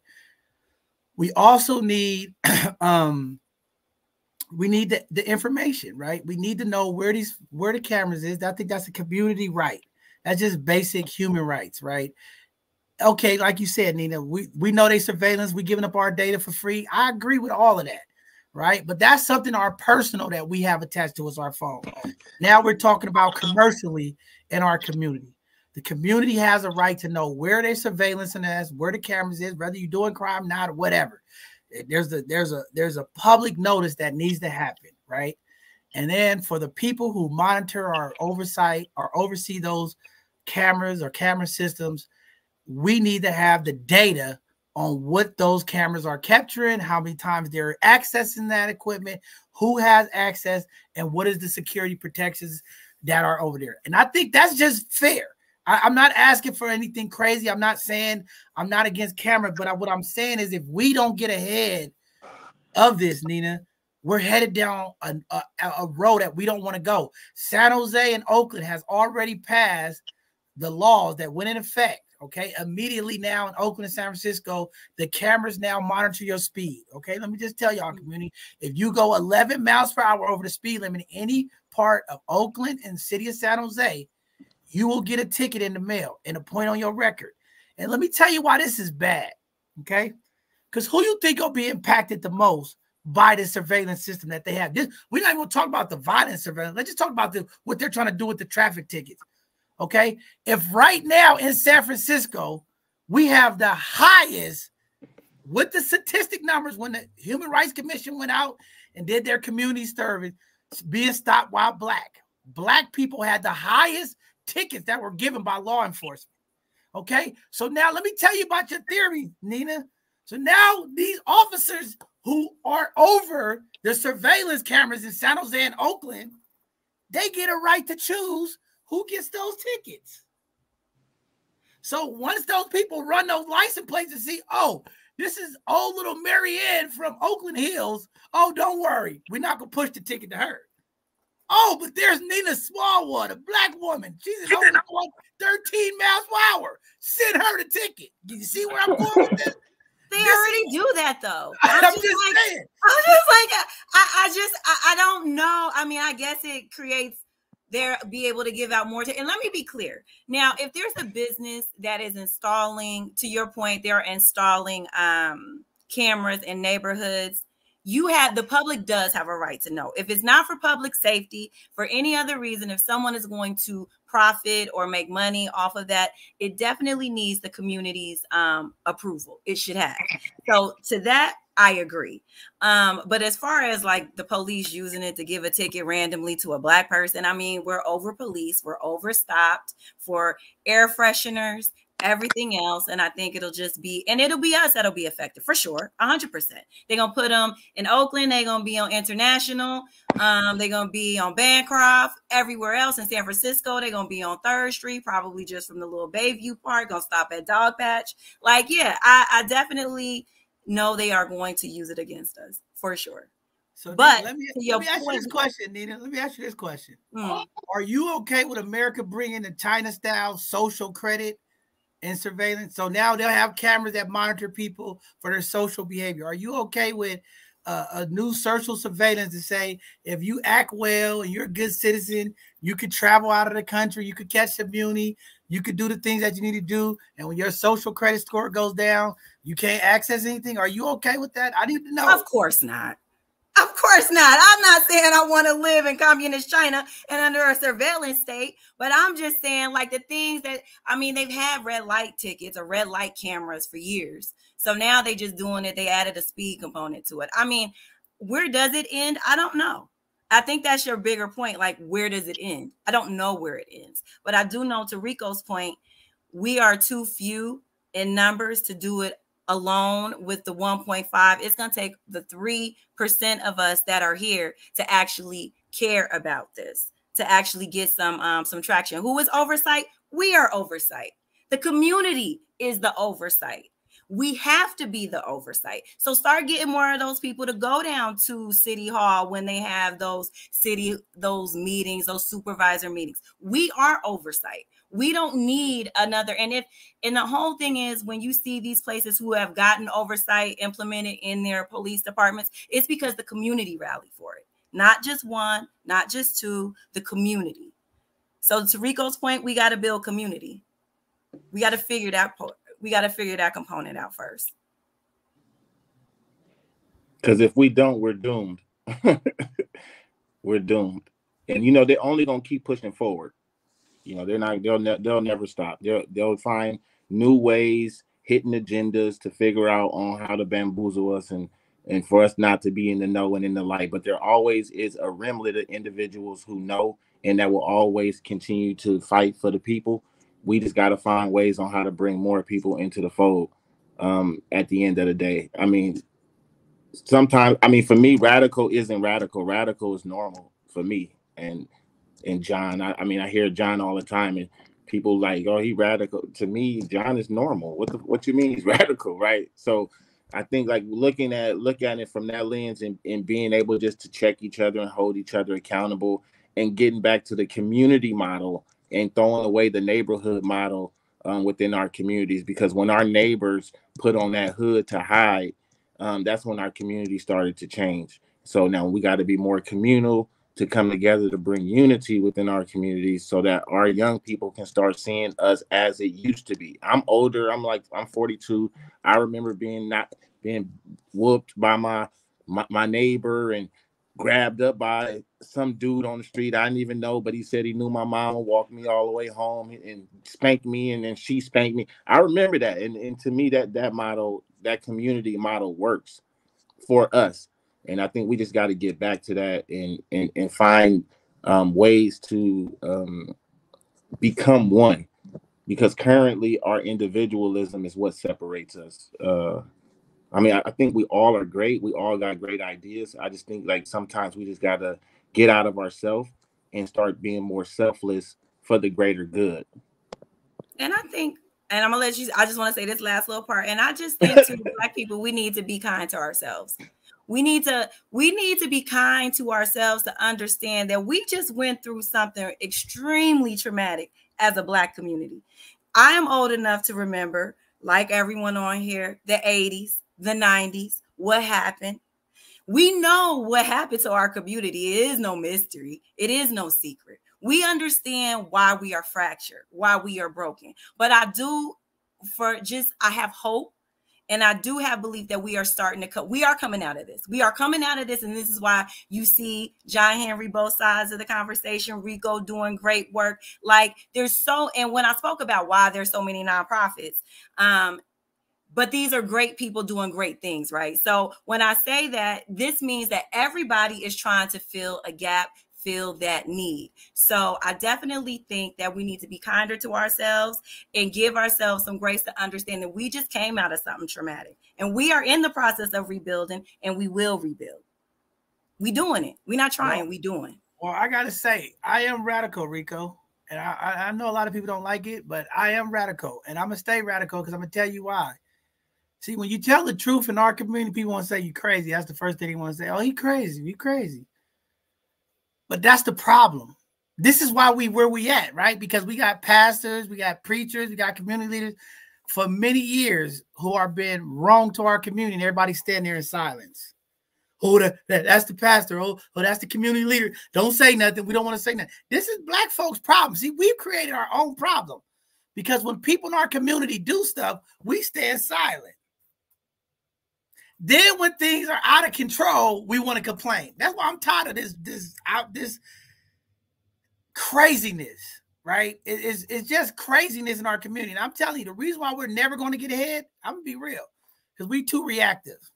All we do is react. Police kill somebody, we want to go march. 30 days later, we all back on the couch. Until we can have some consistency and some stability in everything that we do that accounts for black people, we are in trouble. And let me tell you, since we're talking about black people where we at in San Francisco, in the next five to 10 years, you're going to see something in this country that you have never seen when it comes to normal black folks living. Because this housing crisis that we have in our community, and with the help of these surveillance cameras, is going to move so many people out of our community. All right. When you look at the livable cost of living in San Francisco, 78% of black people in San Francisco is not going to even have a livable wage in five to eight years. Okay. So we got some bigger issues coming. Okay. And if we don't stick together, if we don't wake up, because I'm going to tell you right now, black folks been hitting the snooze button on the alarm for a long time. Okay. Because there's an alarm, a loud alarm that is going off to black people right now and we're not even paying attention. And that's just giving the system another one up to say, oh, they're beat down, they're defeated because this surveillance issue for all the people that are out there doing the wrong thing, they should have been going, oh, what's going on? They don't care. See, and when they sell this and package it up, see, they go to our seniors and our elders and they just like, oh, I'm fine because they, they don't understand. But the bigger push is we got big problems coming. And if we don't stop hitting the snooze button in this next five to 10 years, black people across this country, not just in San Francisco, we are in trouble.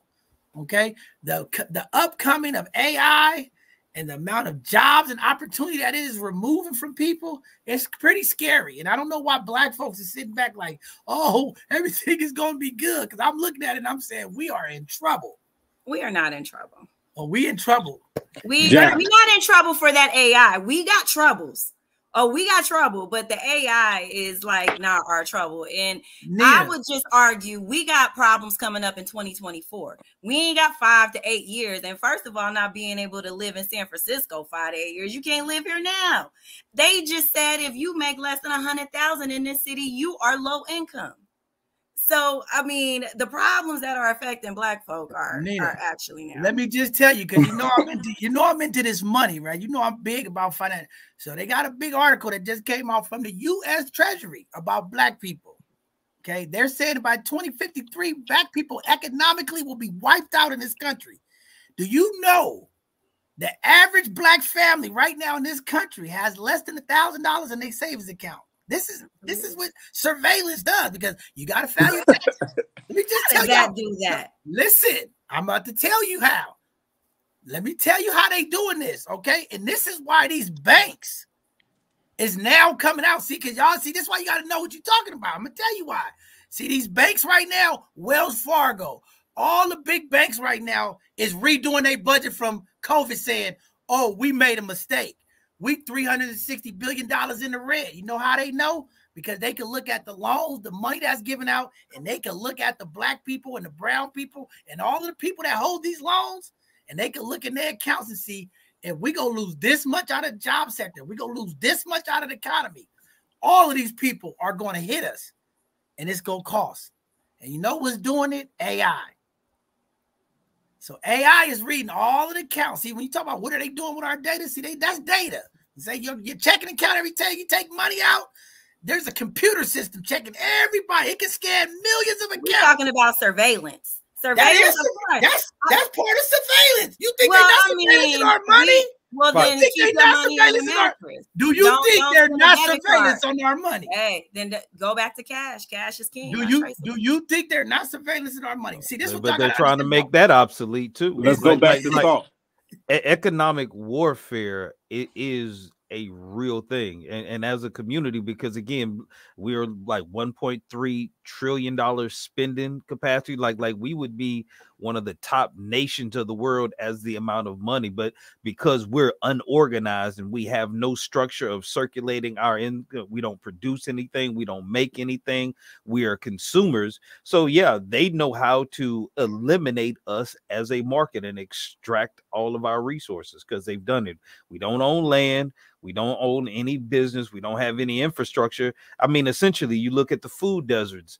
You you, you look at how they start removing resources. They taking the the financial structures out.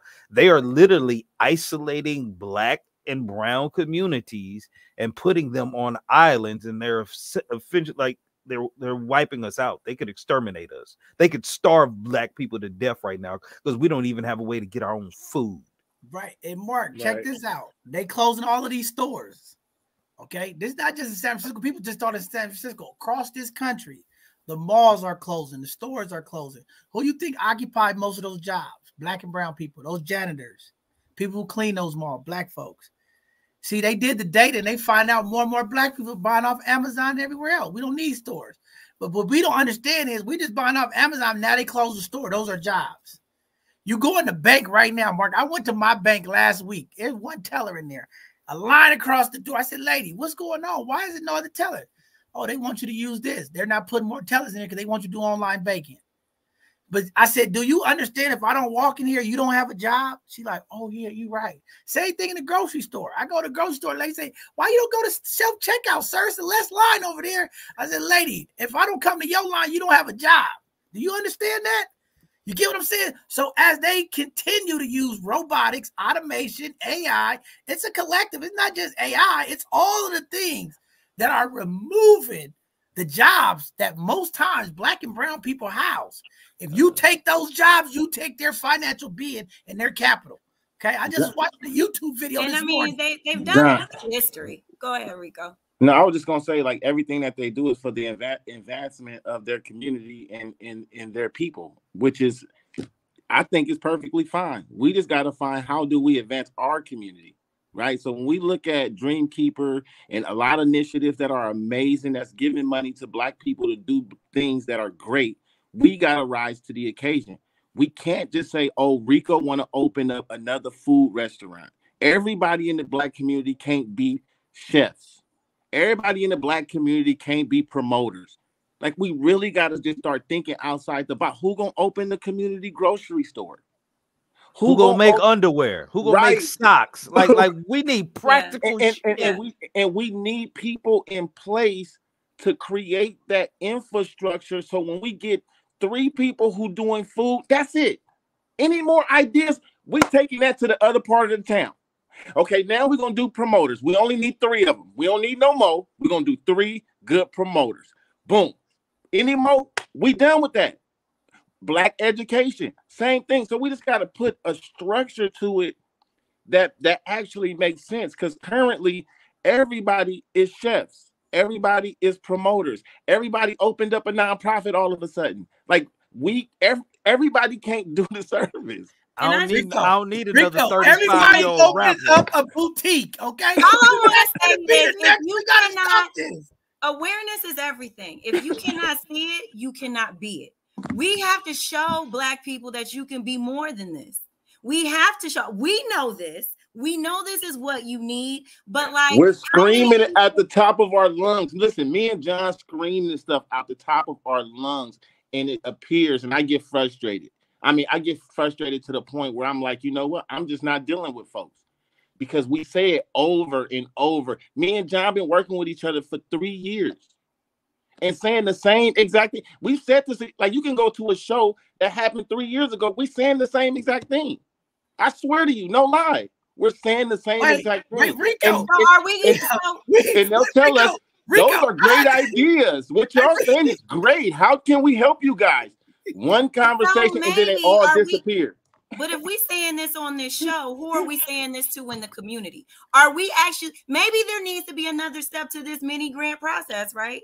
Like when you maybe there needs to be some education on what you can do. What is a viable business? People just say, "Oh, do a business plan." Well, I just got 5,000 and I'm going to spend it on this and we're going to do great things in the community. No, it's a little more do your market research. And I also think you got to tell people like what to do. Like some people just don't know they don't believe they can do these things. Mm-hmm. Like they don't. I definitely believe there needs to be diversity among small businesses. No, everyone can't be. I mean, it can't be just everything. But then it's hard to squash somebody else's dream. But you got to let them know that you can also make money in this. Like my thing is secondhand clothing. I love thrifting. I think more black people because thrifting, the secondhand economy is a $77 billion projected economy within the next five years. You know who's getting left out of it? Black people. Black people set the trends for everything fashion. I've seen some people in the area doing some great things, but let's not get lit, um, left out of that too. There's many things. So I get it. There definitely needs to be some more diversity. And Nina, who is the consumers of the secondhand thrifting? It's white people. Yeah. And you know why? why? You know why? why? Rich white people are smart because they say, you know what? Let all of these lack of financial literacy black folks go into the Gucci store and buy this $300 belt. And when they get rid of it, I'm gonna go down here to the thrift store and, repair, and put it on. It's a lot of white people, but it's a lot of young kids. It's a lot of one. Uh, it's a lot of young kids. But you know, there's a whole. When I say that, we got to destigmatize our black people from shopping secondhand. There's nothing to be ashamed of. You know, we grow up in things where we wearing our our brothers' clothes, our hand me downs, and you get teased for that. So it's a whole like mental mental shift that we have to make as I a culture still of people. Goodwill. Now my son, he he been doing that lately, and I've been like, man, what what you got on, man? I mean, I, and I'm not tripping his thrift. He just ain't got no style with that stuff. Oh, I don't yeah, know. Well, the Gen Z, the Gen Z generation, they look different. I'm so like, I mean,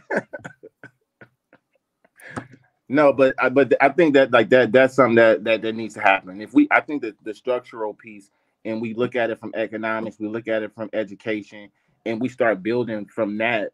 I think that we can actually be a much greater community. There is the funds that's there the black community get a lot of money every single year. Um, our nonprofits, they say they don't, but we do. We get a lot of money, and it's just not being spent in the right direction, in my opinion. I think we have to do a little bit more. There is uh, um, programs that have amazing impact on young people, but we have to like think bigger than just the 10 people that we actually have have an impact on or those five families that we have impact on we have to like look at the cookie cutter model at what our oppressors actually did. Like what they actually did was like they created their wealth by actually supporting each other. Right when they but gave, Rico, we we impact when, the same people. You look at the events, the same people are there. Where's the hey John? Hey John, look, look. I swear, look, look. I'm, it's funny you said that. Look, so I was doing like I think like six years ago, I was doing promotion, right? And I was taking the class on how to promote online and all that stuff, right? The number one thing that they told me was do not promote nothing and send it to a friend to promote. Do you know why? You're only recycling the same information because right. you have the same friends. So when somebody say you ain't sharing my stuff, Rico, because we have the same 500 friends. Why am I sharing something to the same people? Right. So, but a lot of people, you get the business, you get the business account, and then you promote it. You add a hundred dollars. You promote it for the whole for the whole week, and then it's going out to a whole different network that you have nothing to do with. So I, we got to get ready to get out of here. I'm gonna just say okay. this. I'm, I'm, gonna give y'all a solution to the problem. One, we got to teach black professionalism. Okay, first oh, thing our community needs is black professionalism. We 100%. need to understand how to organize and how to mobilize. We need to learn how to collaborate and work together in partnership. That's the first thing we need to learn, right? Then we need to unlearn. We need to unlearn, not learn. We need to unlearn gatekeeping and oppressing our own people. Okay. The next thing we got to learn is un- unlearn is this thing of competition. All right, because competition destroys us every time, right? See, this is why Asian community they thrive, right? Because they can have 10 nail shops on the same block, Rico. Right? It could be 10 nail shops on the same block. And you know what? They all gonna keep their prices the same. So it don't matter where you go, the price is the same. Black folks, we go, oh, you can come over here, I can do it for three dollars cheaper. Oh, you we gotta change, we gotta change that model. So those are some of the things that we have to unlearn to really change uh, the narrative in our community when it comes to how do we come together, right? The other thing is we got to come get involved and really care about our people and our children. Okay, because I'm tired of like the only way we get black folks to show up is we got food. Okay. I'm tired of the chicken fried wings. I'm tired of the fish fries. I'm just tired of it. Okay. I go to these meetings and it's like, okay, we're going to buy fried chicken and we're going to bring collard greens so black folks can show up. This is the mentality of the folks who are leading this stuff. And I said, hey, I'm going to tell you right now, get rid of the food because I want the parents. I don't care how many. I want the parents that care about their kids. All right. I don't want the people that's coming to get some fried chicken and some collard greens. Okay. I want the people who really care about their kids. So, me, I'm saying a lot of this stuff, we need to just start really being real. Okay. Because I don't want people just showing up because they go get something. I want the real people who really are passionate about our community, about the people, about our children, and they really want to do this work. It's too much, Rico. You know how it is organizing, trying to get people to show up. We got to go to all these extreme measures Sometimes we got to pay people to show up. That's how terrible we become. So I'll be like, do we really care? And I think that's the problem. We've all lost the care and the love to uplift the community. We need to put that back in here. But again, we're so reactive. Okay. And this is our downfall. We need to be proactive. We have to do the preventative stuff so that we're not just reacting stuff. Because as long as we're reacting, we're going to be reacting to the end of time. Education. We got to add an extra day of education so that our young black babies, brown babies get the educational needs that they need from black folks, black history. We can't, we got to stop just teaching about Martin Luther King and, and, and Malcolm X. Okay. We got to, and Rosa Parks. We got to start talking about some of these other phenomenal uh, civil rights leaders and folks that going to talk about history. All right. Let's talk about some other folks that did something. I'm tired of the same old people. And this is why I feel like we're only expanding as far as we go on because of what we have inside of us. So all these amazing historians out there, let's try to find some other folks to talk about besides Martin Luther King and Rosa Parks and Malcolm X, okay, and Black Panther. Let's talk about some of these other phenomenal black folks that were freedom fighters and advancing the black people, okay? And then we got to deal with our organizational leaders like the NAACP and all these phony folks who said they for black folks and they not. How do we hold them accountable? I'm gonna tell you right now, I'm not so impressed with what's going on with these large entities who are sucking the wealth out of black folks and saying that they care about the advancement of black people, right? And we know it ain't happening. So I'm just gonna tell you this poverty pimping. I'm gonna say it again: poverty pimping in our community is at an all-time high with these extra absorbent corporate folks who say they invest in black folks. Be careful, black folks, who you standing by, because I'm just telling you, these folks are extracting everything from our community. So we got a lot of organizational shifts and change that got to happen. Our leadership, you know, the church was the place to learn, Rico. You know, when we came up, now we got all these sophisticated pastoral schools. You know, you can go to school and get a degree in pastoring. I said, wait a second. I thought the church was the place that we teach. Now you can't even get in the pulpit unless you got this elaborate degree that you went to some theological school and all. Like we got, we got to get real, man. We have corporatized everything. We we are just. I'm just telling y'all, it's terrible right now. We got some terrible stuff going on. We got to fix it, but we are at the end of the time. This surveillance conversation, I knew it was gonna go all over the place. Nina got the ladies throwing rocks at me already. I'm in trouble now, ladies. I'm sorry, ladies. I didn't mean to go down that rabbit hole. But sisters, unleash the floodgates. Stop gatekeeping the people. All right. I don't know. But with that being said, we got to get out of here. Before we leave today, uh, Rico, uh, Nina, and Mark, I want you guys to give some pardon ways and any shout outs um, but we really need some call to action today to community about getting involved, being organized, and letting their voices be heard. The only way change really happens in our community is people's voices.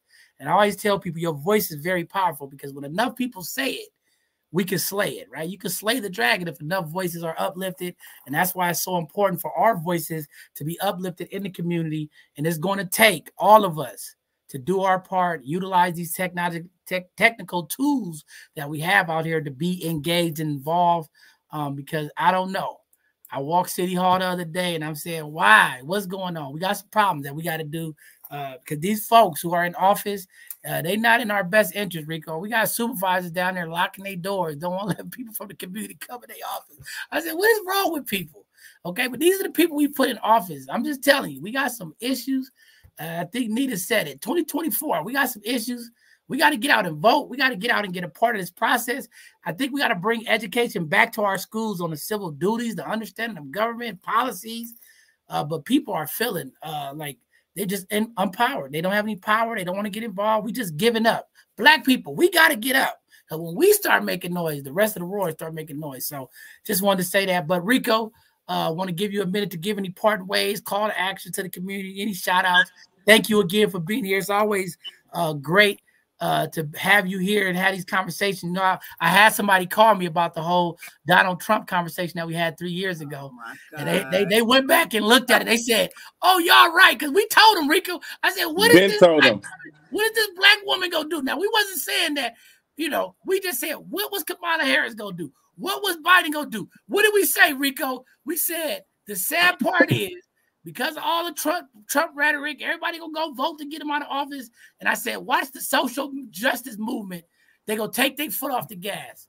And look what's happening in this country right now. We didn't got comfortable. Soon as Biden got in office, all the rallies stopped. People wasn't involved. Now we reacted. Oh, we got to do something. Well, what happened? We got more police, more police incidents right now than before George Floyd with uh, excessive force. I just read an article. The rest of the numbers came out for San Francisco police. San Francisco black people, six less than six percent of black people in San Francisco, and they had forty-four percent of excessive force charges against black people in the city. And we did all that marching across the world about George Floyd. We still don't have a police brutality bill, Rico. All them Democrats standing there with their dashikis on and Nancy Pelosi, Diane Feinstein. Oh, we, we for black people. They up there come by iron on Capitol Hill, and we still don't have a police brutality bill. Tell, black people, wake up. We got to wake up, y'all. We got to stop playing. We got to stop letting these fools pull the rugs over our head, y'all. We got to stop it. All this political rhetoric, pay attention. They ain't doing nothing. They just got us on the strings. They just playing the string, playing the string, playing the string. Rico, three years ago, we had that conversation. Everything we said is happening right now. it's crazy. Craziness. But go ahead, Rico.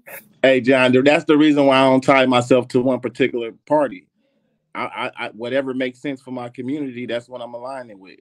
It could be Democrat one year, it can be Republican another year, it can be one of their bills versus their bills. Whatever is for our community, that's what I'm with. I ain't tied to nothing. That's a gang. I ain't part of no gang. All right. So uh, I just want to say thank you, John, for having me. It's always a blessing to be on both sides of the conversation. Um, I, am truly, it's truly a blessing. Uh, my personal call to action for myself is I'm going to reactivate Black Men United. Um, and I, I, wish I can get your help, John, to help support me with that um, and and see if we can get some brothers to at least start something. I know we tried it and tried it, and it was hard to get brothers, but I'm gonna try it one more time for the the big hoorah and see if we can get some uh, brothers. Uh, the next thing is equity. Um, that's my thing is, is is trying to find equitable resources for the black community. And I and, and I always say this: equity is already within our community. We don't have to get it from nobody. We already have it there, right? We just got to learn how to push equity right? Because when Rico get the opportunity, Rico get that opportunity and think that it's equitable because he have the opportunity. It's just an opportunity for myself. So once I push that equity forward and support another young person or someone who's trying to get into that field, that's when you actually is pushing equity forward. So within our community, we already had an equity. So let's start building up our community on our own. We don't need no support from nobody else. We just got to uplift each other and continue to push our own personal agenda. Thanks, John. Hey, thanks, Mark. Nice meeting you, man. Hey, hey, Rico, thank you for saying that. And, and yes, Black Men United, you you had a vision that that, that was gonna be something huge. And again, to the brothers out there, okay, we gotta do a better job when we say getting involved. Okay, we got too many brothers that just want to do football, basketball, coaching, okay, and rapping and music. We need some black men who are ready to advocate, you know, come to the table, be a part of the rallies, be a part of the civil process. Um, because again, you know, even with the mentorship, Rico, I just see everybody, we want to do the same thing. We need brothers to show up. We need brothers to show up, and we need brothers to show up in all kind of capacities. And I'm just tired of it always just being the only time you want to see brothers involved is in sports, man. Pop Warner football, basketball, AU, right? You need that stuff. I'm not saying we don't need it, but I need black men to show up more than just that, right? I'll be the mentor, but we ain't even mentoring right, okay? I'm just saying we need black men to show up in all capacities to help each other. Black fatherhood, like I said, I'm, I'm still. Uh, I got to get down there with Elgin Rose. He's doing some phenomenal stuff with the Black Father Group. But we need more of that. We got the Black Man Group going on at the Baby Y. We got other brothers trying to unite. Um, but again, we got to show up, brothers. I mean, I mean, Rico, we just got to get these brothers to show up. Uh, and it can't just be for sports. We got to find more black men in the community that is going to get involved with these community issues because they impact us, and we need the voices of black women. I mean, men and women, but women. I got to say this, Nina. Okay, there's something about the power of black men. No matter how much work our women push, when black men come together in unison and our voices are uplifted, the enemy he has to bow down. Just it's just what it is.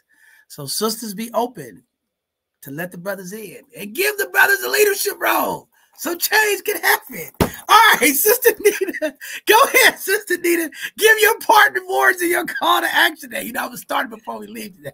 Oh my God. So all I'm gonna say is this black men have had the power. Um, they have been in front facing positions. They are the face of the civil rights unions. I mean, the civil rights movement historically. So now, fast forward, give the women they flowers. We don't. We we are taking our moment. We are taking forward. Um, you know, and I just want to say, I definitely I want to say this really quick about the the timeline thing about the movement, the social movement. The social movement died way before Biden got into office. Black people have short attention spans. We know this.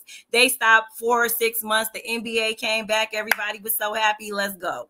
Um, and I would just like to say my call to action is for everyone to be civically engaged. Like John Henry said, I am a firm believer. Anybody who knows me, I'm staunch in teach our kids civics. How do we allow our kids to drive? We allow kids must take a test before they can drive a car, but yet we don't inform them how to use their most powerful tool, the vote. So we need to make sure we are educating this populate um, with the civics message. And for me, what I plan to do next year is focus on voting, getting the right, um, getting the message out there, because we also, as Black people, have to realize how to tie what is happening in the city, the positive things, to what comes, um, who's sitting in City Hall. So we have to do a better um, job with messaging. So just getting involved, spreading the message, and registering people to vote. Definitely. Uh, thank you for being here. I know it's been a while. You've been trying to get on. I got to invite you back when we have our next relationship conversation. I think it's cuffing season coming up. I think it's time to add a, another relationship. we got to add another relationship show in here. It's cuffing season. You know, I, I, I, try to stay away from those conversations. A lot of people get mad at me. John, you need to have more relationships because we know that's the biggest problem um, impacting Black men and women in our community. We know there's uh, those issues, but you know, those conversations get very triggering and people, it just, it, you know, I don't know. So I try to spread them out a little bit when we get it close to Valentine's Day and during the holidays. I think I'm gonna have to bring you back, Nina. Okay, we'll have a, a relationship conversation because I think we gotta have. There's some people out there still triggered. Okay, we gotta we gotta heal this trauma in our community when it comes to black woman and black man love and brown man and brown woman love. Okay. Um, but thank you for being here. Your perspective and your uh, information is always on point.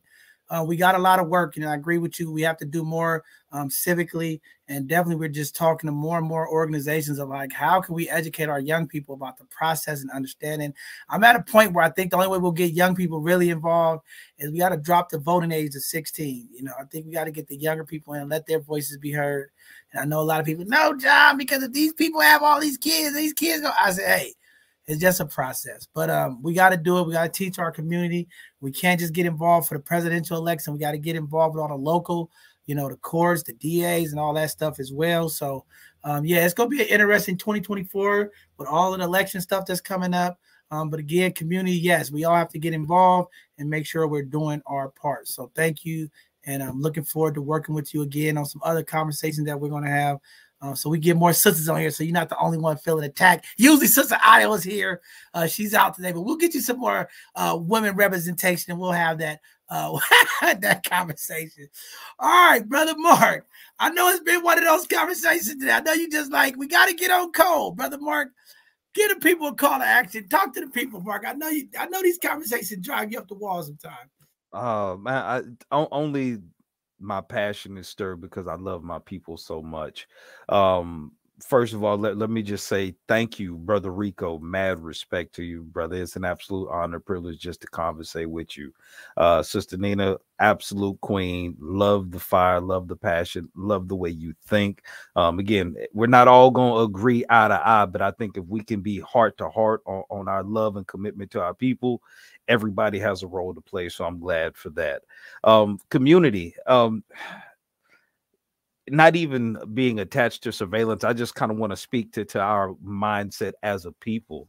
Um, and I'm thinking about current events and, and the past historical event because Sister Nina alluded to something earlier about uh, what happened to our community back in the 80s, in particular, through the 90s um, our community has been decimated, like literally, um, psychologically, physically, economically.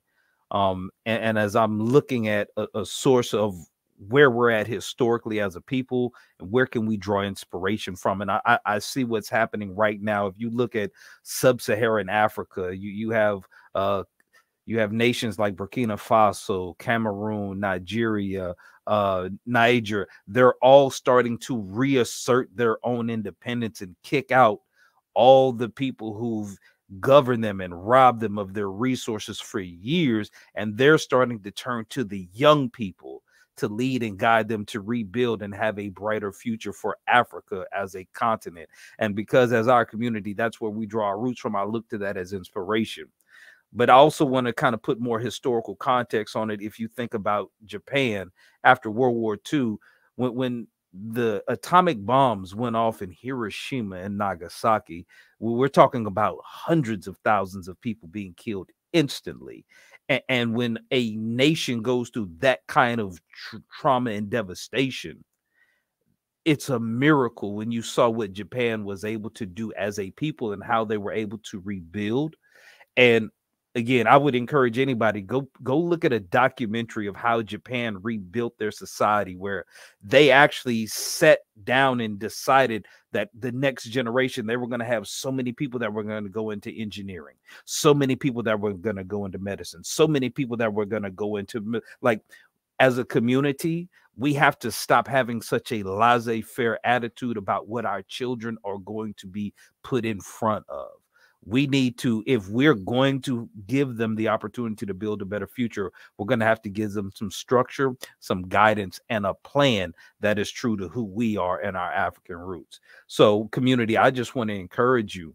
There is a real opportunity in all the chaos we see to reemerge more healed more empowered and more unified and that's what i hope we can do with both sides of the conversation Man, very powerful stuff, Mark. Thanks uh, for giving that. The voice have spoken. You heard the reason from the voice. Now, I am the bishop. I have to give the benediction before we get out of here today because I got to call to action. I'm just gonna say what it is. They don't. I don't care if y'all don't like my radical benedictions. Okay, but my call to action, all right, is gonna be powerful because I'm tired of playing around. Okay, so my benediction is going like this tonight. Community, wake up.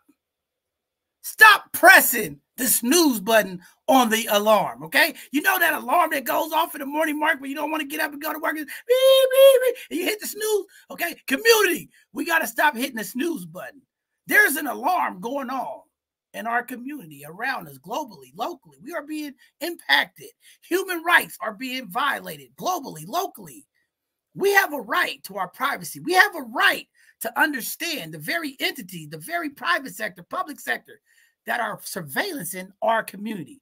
It is our job to hold those folks accountable. It is our job, community, to ask the question, not be afraid to say, oh, it's just there. And that's what it's supposed to be. It is our job as community leaders to call the action, to hold people accountable, ask the question so that we can make the change. Surveillance is a big, big, big entity.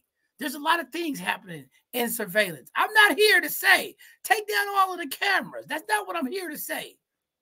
I'm here for accountability. I need my community to understand what's going on. We need better education. We need better awareness. We need a better oversight to understand what's going on so that we can make the right judgment decision. Do we need surveillance in our camera or we don't? It is time for us to mobilize we are headed in to the next election season. We must get activated. We must get involved. We must find a way to understand the processes, the bills, the goals, the laws, so that we can have our voice to make sure that we are part of the change. We can't just sit back no longer and say, well, whatever happened, they're going to do it anyway. No, today is the new day. Today, I am calling out the community to stand together in unity, to stand together to hold the people that are standing behind us accountable. We can't just give them a free key to our unfreedom. We cannot give them the access to just disturb and disrupt our lives because they have the resources, because they have the titles, and they have the positions to do it. It is our job to make sure that there's a fair playing field. It is our job to protect our children, our families, and our community. So many things can happen when folks become bigger than the agenda. So many times there are leaders who are leading with power and ego and not looking out for the holistic healing of our community. We must make sure that those folks are accountable. We will continue to keep an eye shining bright on the cameras that are watching our community. I don't know I'm going to keep pushing along. Walk with me, stand with me, continue to follow the movement. We must move and unite. They say the revolution won't be televised. I despise. I say today we must televise our revolution if we want to make change. Our community is hurting more than ever. We need grace and humility when dealing with the issues that impact our community. But we also need activation. Today is the day. Do not hit snooze anymore, community. We must get up. We must deal with the noise that is irritating us to get up. Stand up, community. We must do this in unity together. With that being said, thank you all for tuning in to this Sunday's conversation. It's been interesting. It's taken a lot of turns, but we are here to continue to intentionalize and make sure that the community understands what's going on. We have a problem that we must address. We must step together. We must lead together. Rico gave it out there. There's a lot of things that we need to do. We need those structures in place. We need those foundations. We can't move, do anything without a solid foundation. That's why I'm not a square. I am a triangle. Okay. I always tell people I am a triangle. Okay. I have a strong foundation and I'm sharp on the top. Community, we need more triangles. Let's get involved. Get out there and vote this 2024. All right. With that being said, thank you all for tuning in. Our next live show is this Tuesday. We're going to have Brother Rodney uh, from the uh, Backo uh, um, company come on to talk about their upcoming play and uh, things that they're doing. And then Thursday, we'll have another educational Thursday. And then next week, it is Veterans Day, and we'll start deal with some of the veteran conversations. What's going on? We'll be talking about man health, number of things this month, and then we got Thanksgiving coming up. So I don't know. We'll have a couple of shows. We'll be out in the community trying to impact those families in need. Maybe we'll be at New Beginnings. I don't know. We'll be somewhere helping to bless the people because we know this holiday season it will be a challenge for a lot of our Black and Brown families, as we just saw today. PG&E is asking to increase PG&E bills by 22% here in California, okay? Right at the time where time is going back hour. I hope everybody cut their clocks back an hour today as well because, uh, you know, I was confused. I see the clock is 1.30. What's going on? All right. Make sure you check your clocks in your house and turn them back an hour. Um, but the weather is getting cold. We had light rain today. It's getting colder out there, community, as we get close to these holidays and these uh, late winter months. Folks are going to need support, so make sure you're doing your part. We'll start putting up uh, the next couple of shows moving forward. Some of the foundations, some of the organizations um, that are taking clothing, clothes, so that we know how to give uh, hoodies and coats and things that some of our unhoused family and children will need those supports um, this winter season. Um, we got the DA coming on here one of these educational Thursdays soon. I don't know, Sister Brooks. Need you to come on. I got some questions about this surveillance. Okay, uh, but yeah, we'll we'll be having uh, DA Brooks coming on in a couple weeks here. Uh, we'll talk to her about this surveillance stuff. I don't know, Rico. I gotta ask her. You know, they they got these cameras up and they don't have these signs up. How can they be convicting people with these cameras? I don't know. I'm gonna ask her.